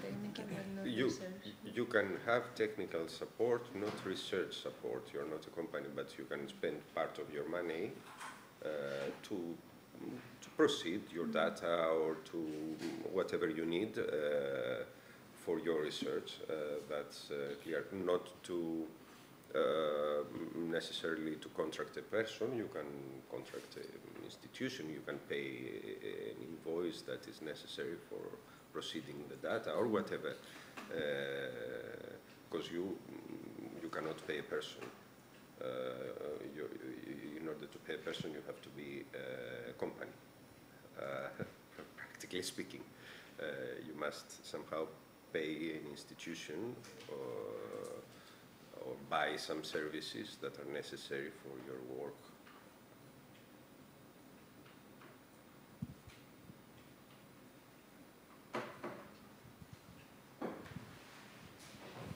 Hello. My question is, um, now that from what I just heard, uh, is it a good idea to say that the budget for research could be used to enhance mobility by, for instance, bringing students from abroad to Spain so that that will help to the project and that will also help to the mobility and internationalization and so on? Do you think that's a good idea to to, to say that's the way of making use of that uh, budget? Uh, I didn't, uh, sorry, Can you Yeah, Can you you, said, I mean, uh, the fellow from Marie Curie gets his own salary, money, and then you get 600 euros per month for research. So my question is, is it a good idea to say that that money will be used to bring students from, let's say, Mexico down here? So that will help to the research project, and that will also contribute to enhancing mobility and internalis- internationalization and so on. I think they can help you technically, but not in research. No, exactly. They, you can have technical assistance, but you cannot subcontract research. That, this is that's why it is individual. It's your research. So uh, there are other kind of projects like ITNs uh, that are among institutions that are doing exactly this. They are paying the institutions, the University uh, of Pompeu, the University of uh, Vienna, and the university, and they have a common network, and they contract uh, uh, researchers, and they are moving them around in, in a bigger project. Uh, but as a person, that's why they are called individual, you cannot subcontract research. Uh, you can only uh, buy and pay technical uh, services of any kind, uh, to a university, to a company, to printing, for communication, for somebody to make you a web page, this kind of, of stuff.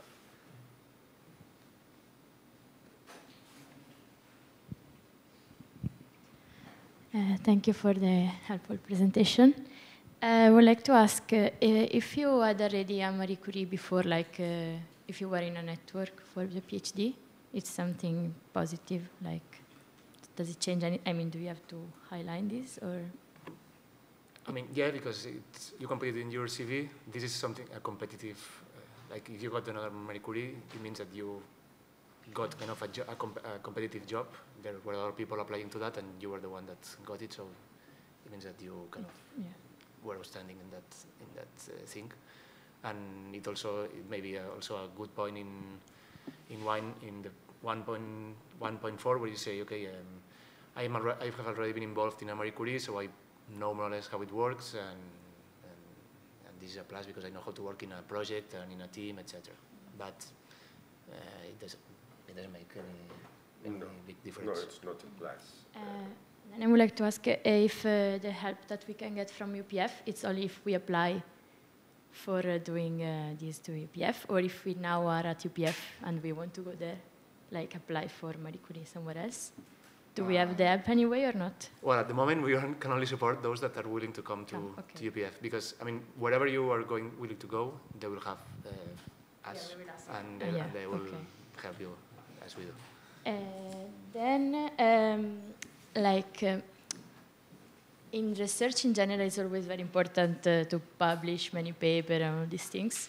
But uh, in um, like if you apply to this uh, Marie Curie proposal, now you have to take care of a lot of other things.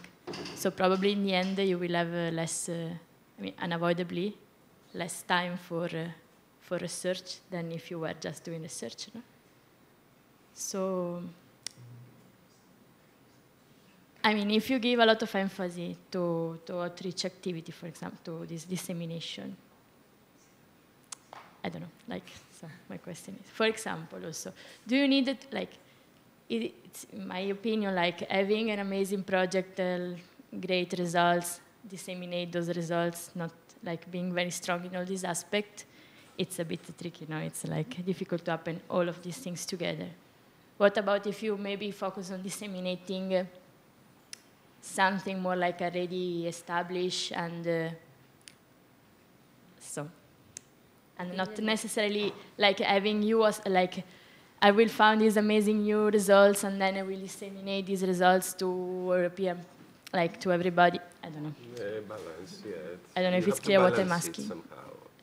You have a, you need a balance of both. Uh, you have to balance it depending also on the kind of your project a lot. I mean, it's a very different thing if you're doing uh, medicine, for example, and biology, mm, and something very specific. A different thing when you're doing uh, uh, history or uh, uh, archaeology. You have to balance and to prove that you're doing the best you can following your project uh, potential. Uh, there are projects that have higher potential and projects that have less potential by its nature. I mean, but to choose correctly the target groups and uh, also the publications that are uh, important in this precise field.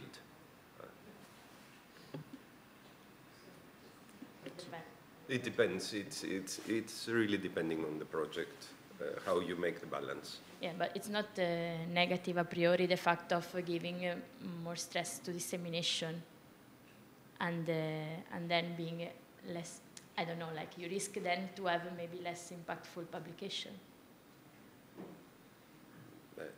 I, I'm asking if this is, uh, is very risky or if it's a possibility to... I cannot tell you Oh. in general. It means it, it, it has to be integrated in, in the more or less. I don't understand what you mean. If you mean, I mean, you can also disseminate when it's published, if it is that the question. I mean, your question is if you do a lot of dissemination, maybe you will not can publish because something, but uh, no. For example, let's suppose uh, you, you think now it's very important uh, climate science, no?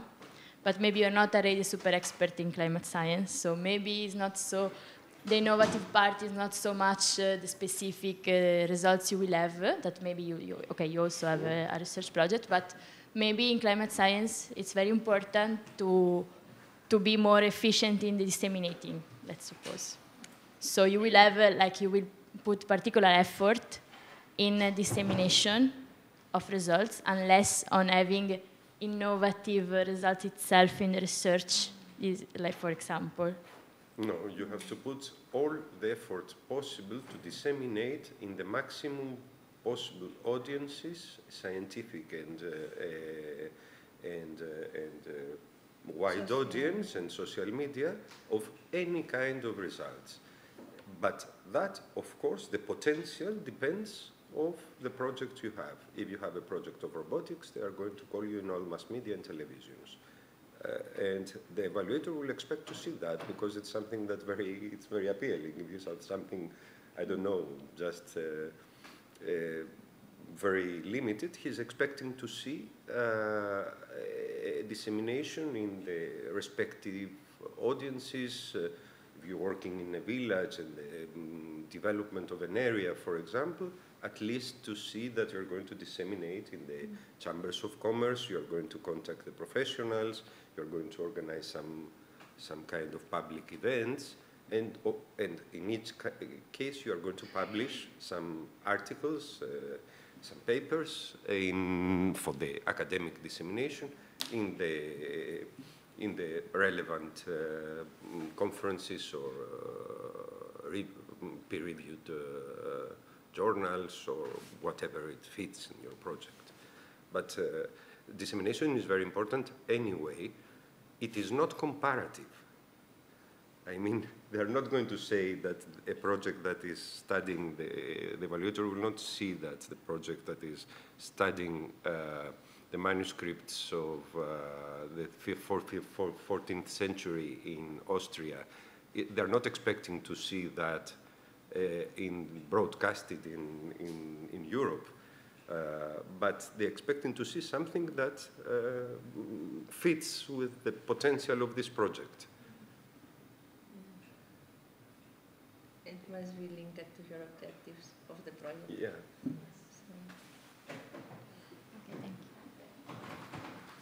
Thank you very much. That was very useful. So I have more like um, technical questions regarding the publications. So if you have several manuscripts in preparation or they are submitted, but, you, but they are not uploaded in bioRxiv, for example, is there a point to put this in a section in your CV, like manuscripts in preparation or submitted or something? Or is like they are nowhere, they don't exist yet or something like that? I put, for example, in the CV, I put that I was preparing a manuscript that was under a, a pattern, and then I put also that I, I was as a co-author of a manuscript that was already submitted in, in, re, in revision, not something that you have not done yet. So Yeah. something that has a reason why you don't. Yeah, why, For yeah. example, because there is an IP team that is looking, or you need to wait, wait, um, wait a bit, or whatever. Or it is in revision already in this journal, and then you put uh, in this journal. Yes. So. But if it's like in preparation, almost about to submit, it's pointless, right? I Or don't it's think- I don't. I, I don't think so that uh, it doesn't prove anything. Exactly, so If it's- submitted somehow, but if you say I'm preparing 10 ideas and you don't have anything Yeah, yeah, yeah, okay, mean, okay. Uh, this, this is part of your proposal somehow. Hmm. Uh, You can say in the proposal, Yeah. I'm, I'm, I'm doing that. Yeah, okay.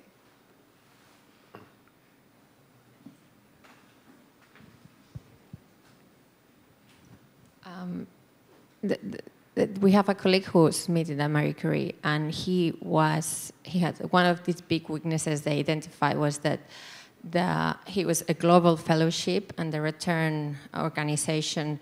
Uh, he they told him that weakness was that he this this organization is a research center that doesn't have proper um, res- um, teaching positions like uh, research positions. It's just a research center.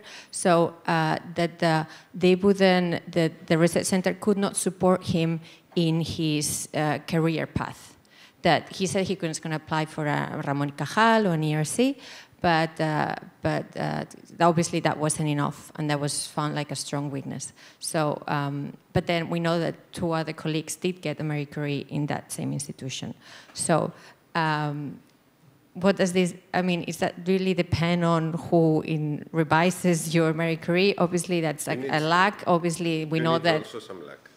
So that's the Let's so that's the thing. But then the Yeah, advice is: should we apply with this research center, Yeah. or is that or is that risky because we're gonna get this message uh, that you know in this principle, the- it is the- not risky. In principle, it is not risky. That depends also how the evaluators have seen uh, the current. Uh, I, I am not going to defend their position because I don't know the project, but uh, they could have seen that this research center specifically for this proposal was something Or that was for his career development of the precise project uh, was not adequate.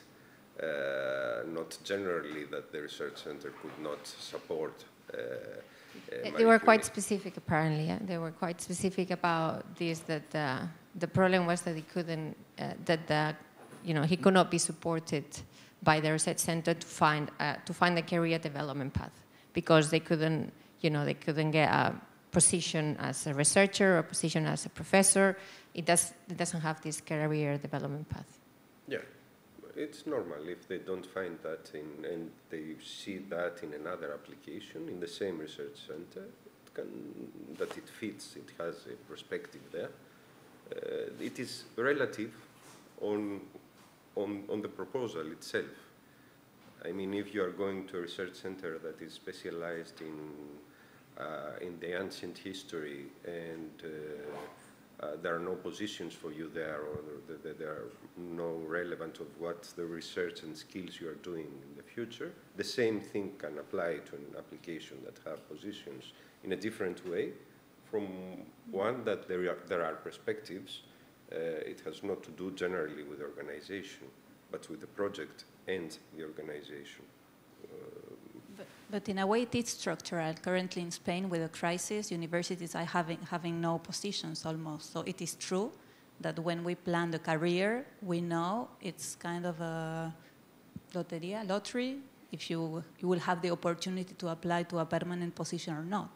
So actually, in this case, this particular case, it is true. This ins- institute cannot actually hire researchers. Researchers have to be hired by departments or have to apply for further projects. The, so career, the career perspective is not necessarily uh, a position in the university. You can say that with these skills, I can work for a museum, for a research, uh, for a pharmaceutical company, for uh, in the research in uh, in the private sector. I'm going to work for, but somehow uh, prove that you, you thought about your perspective, uh, not necessarily as a position in, in, in, the university, of course not, or the research center, or whatever. It can be whatever. Uh, in the private sector, in the public sector, in a university, in, in a company, uh, what these skills are going to uh, help you to achieve these objectives. As more, more precise you are, more chances to have to be persuasive.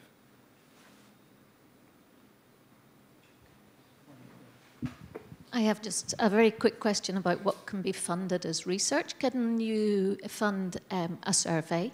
Would that count as a technical service? Uh, yes. Okay. So, well, thank you very much for arriving till the end. Thank you too.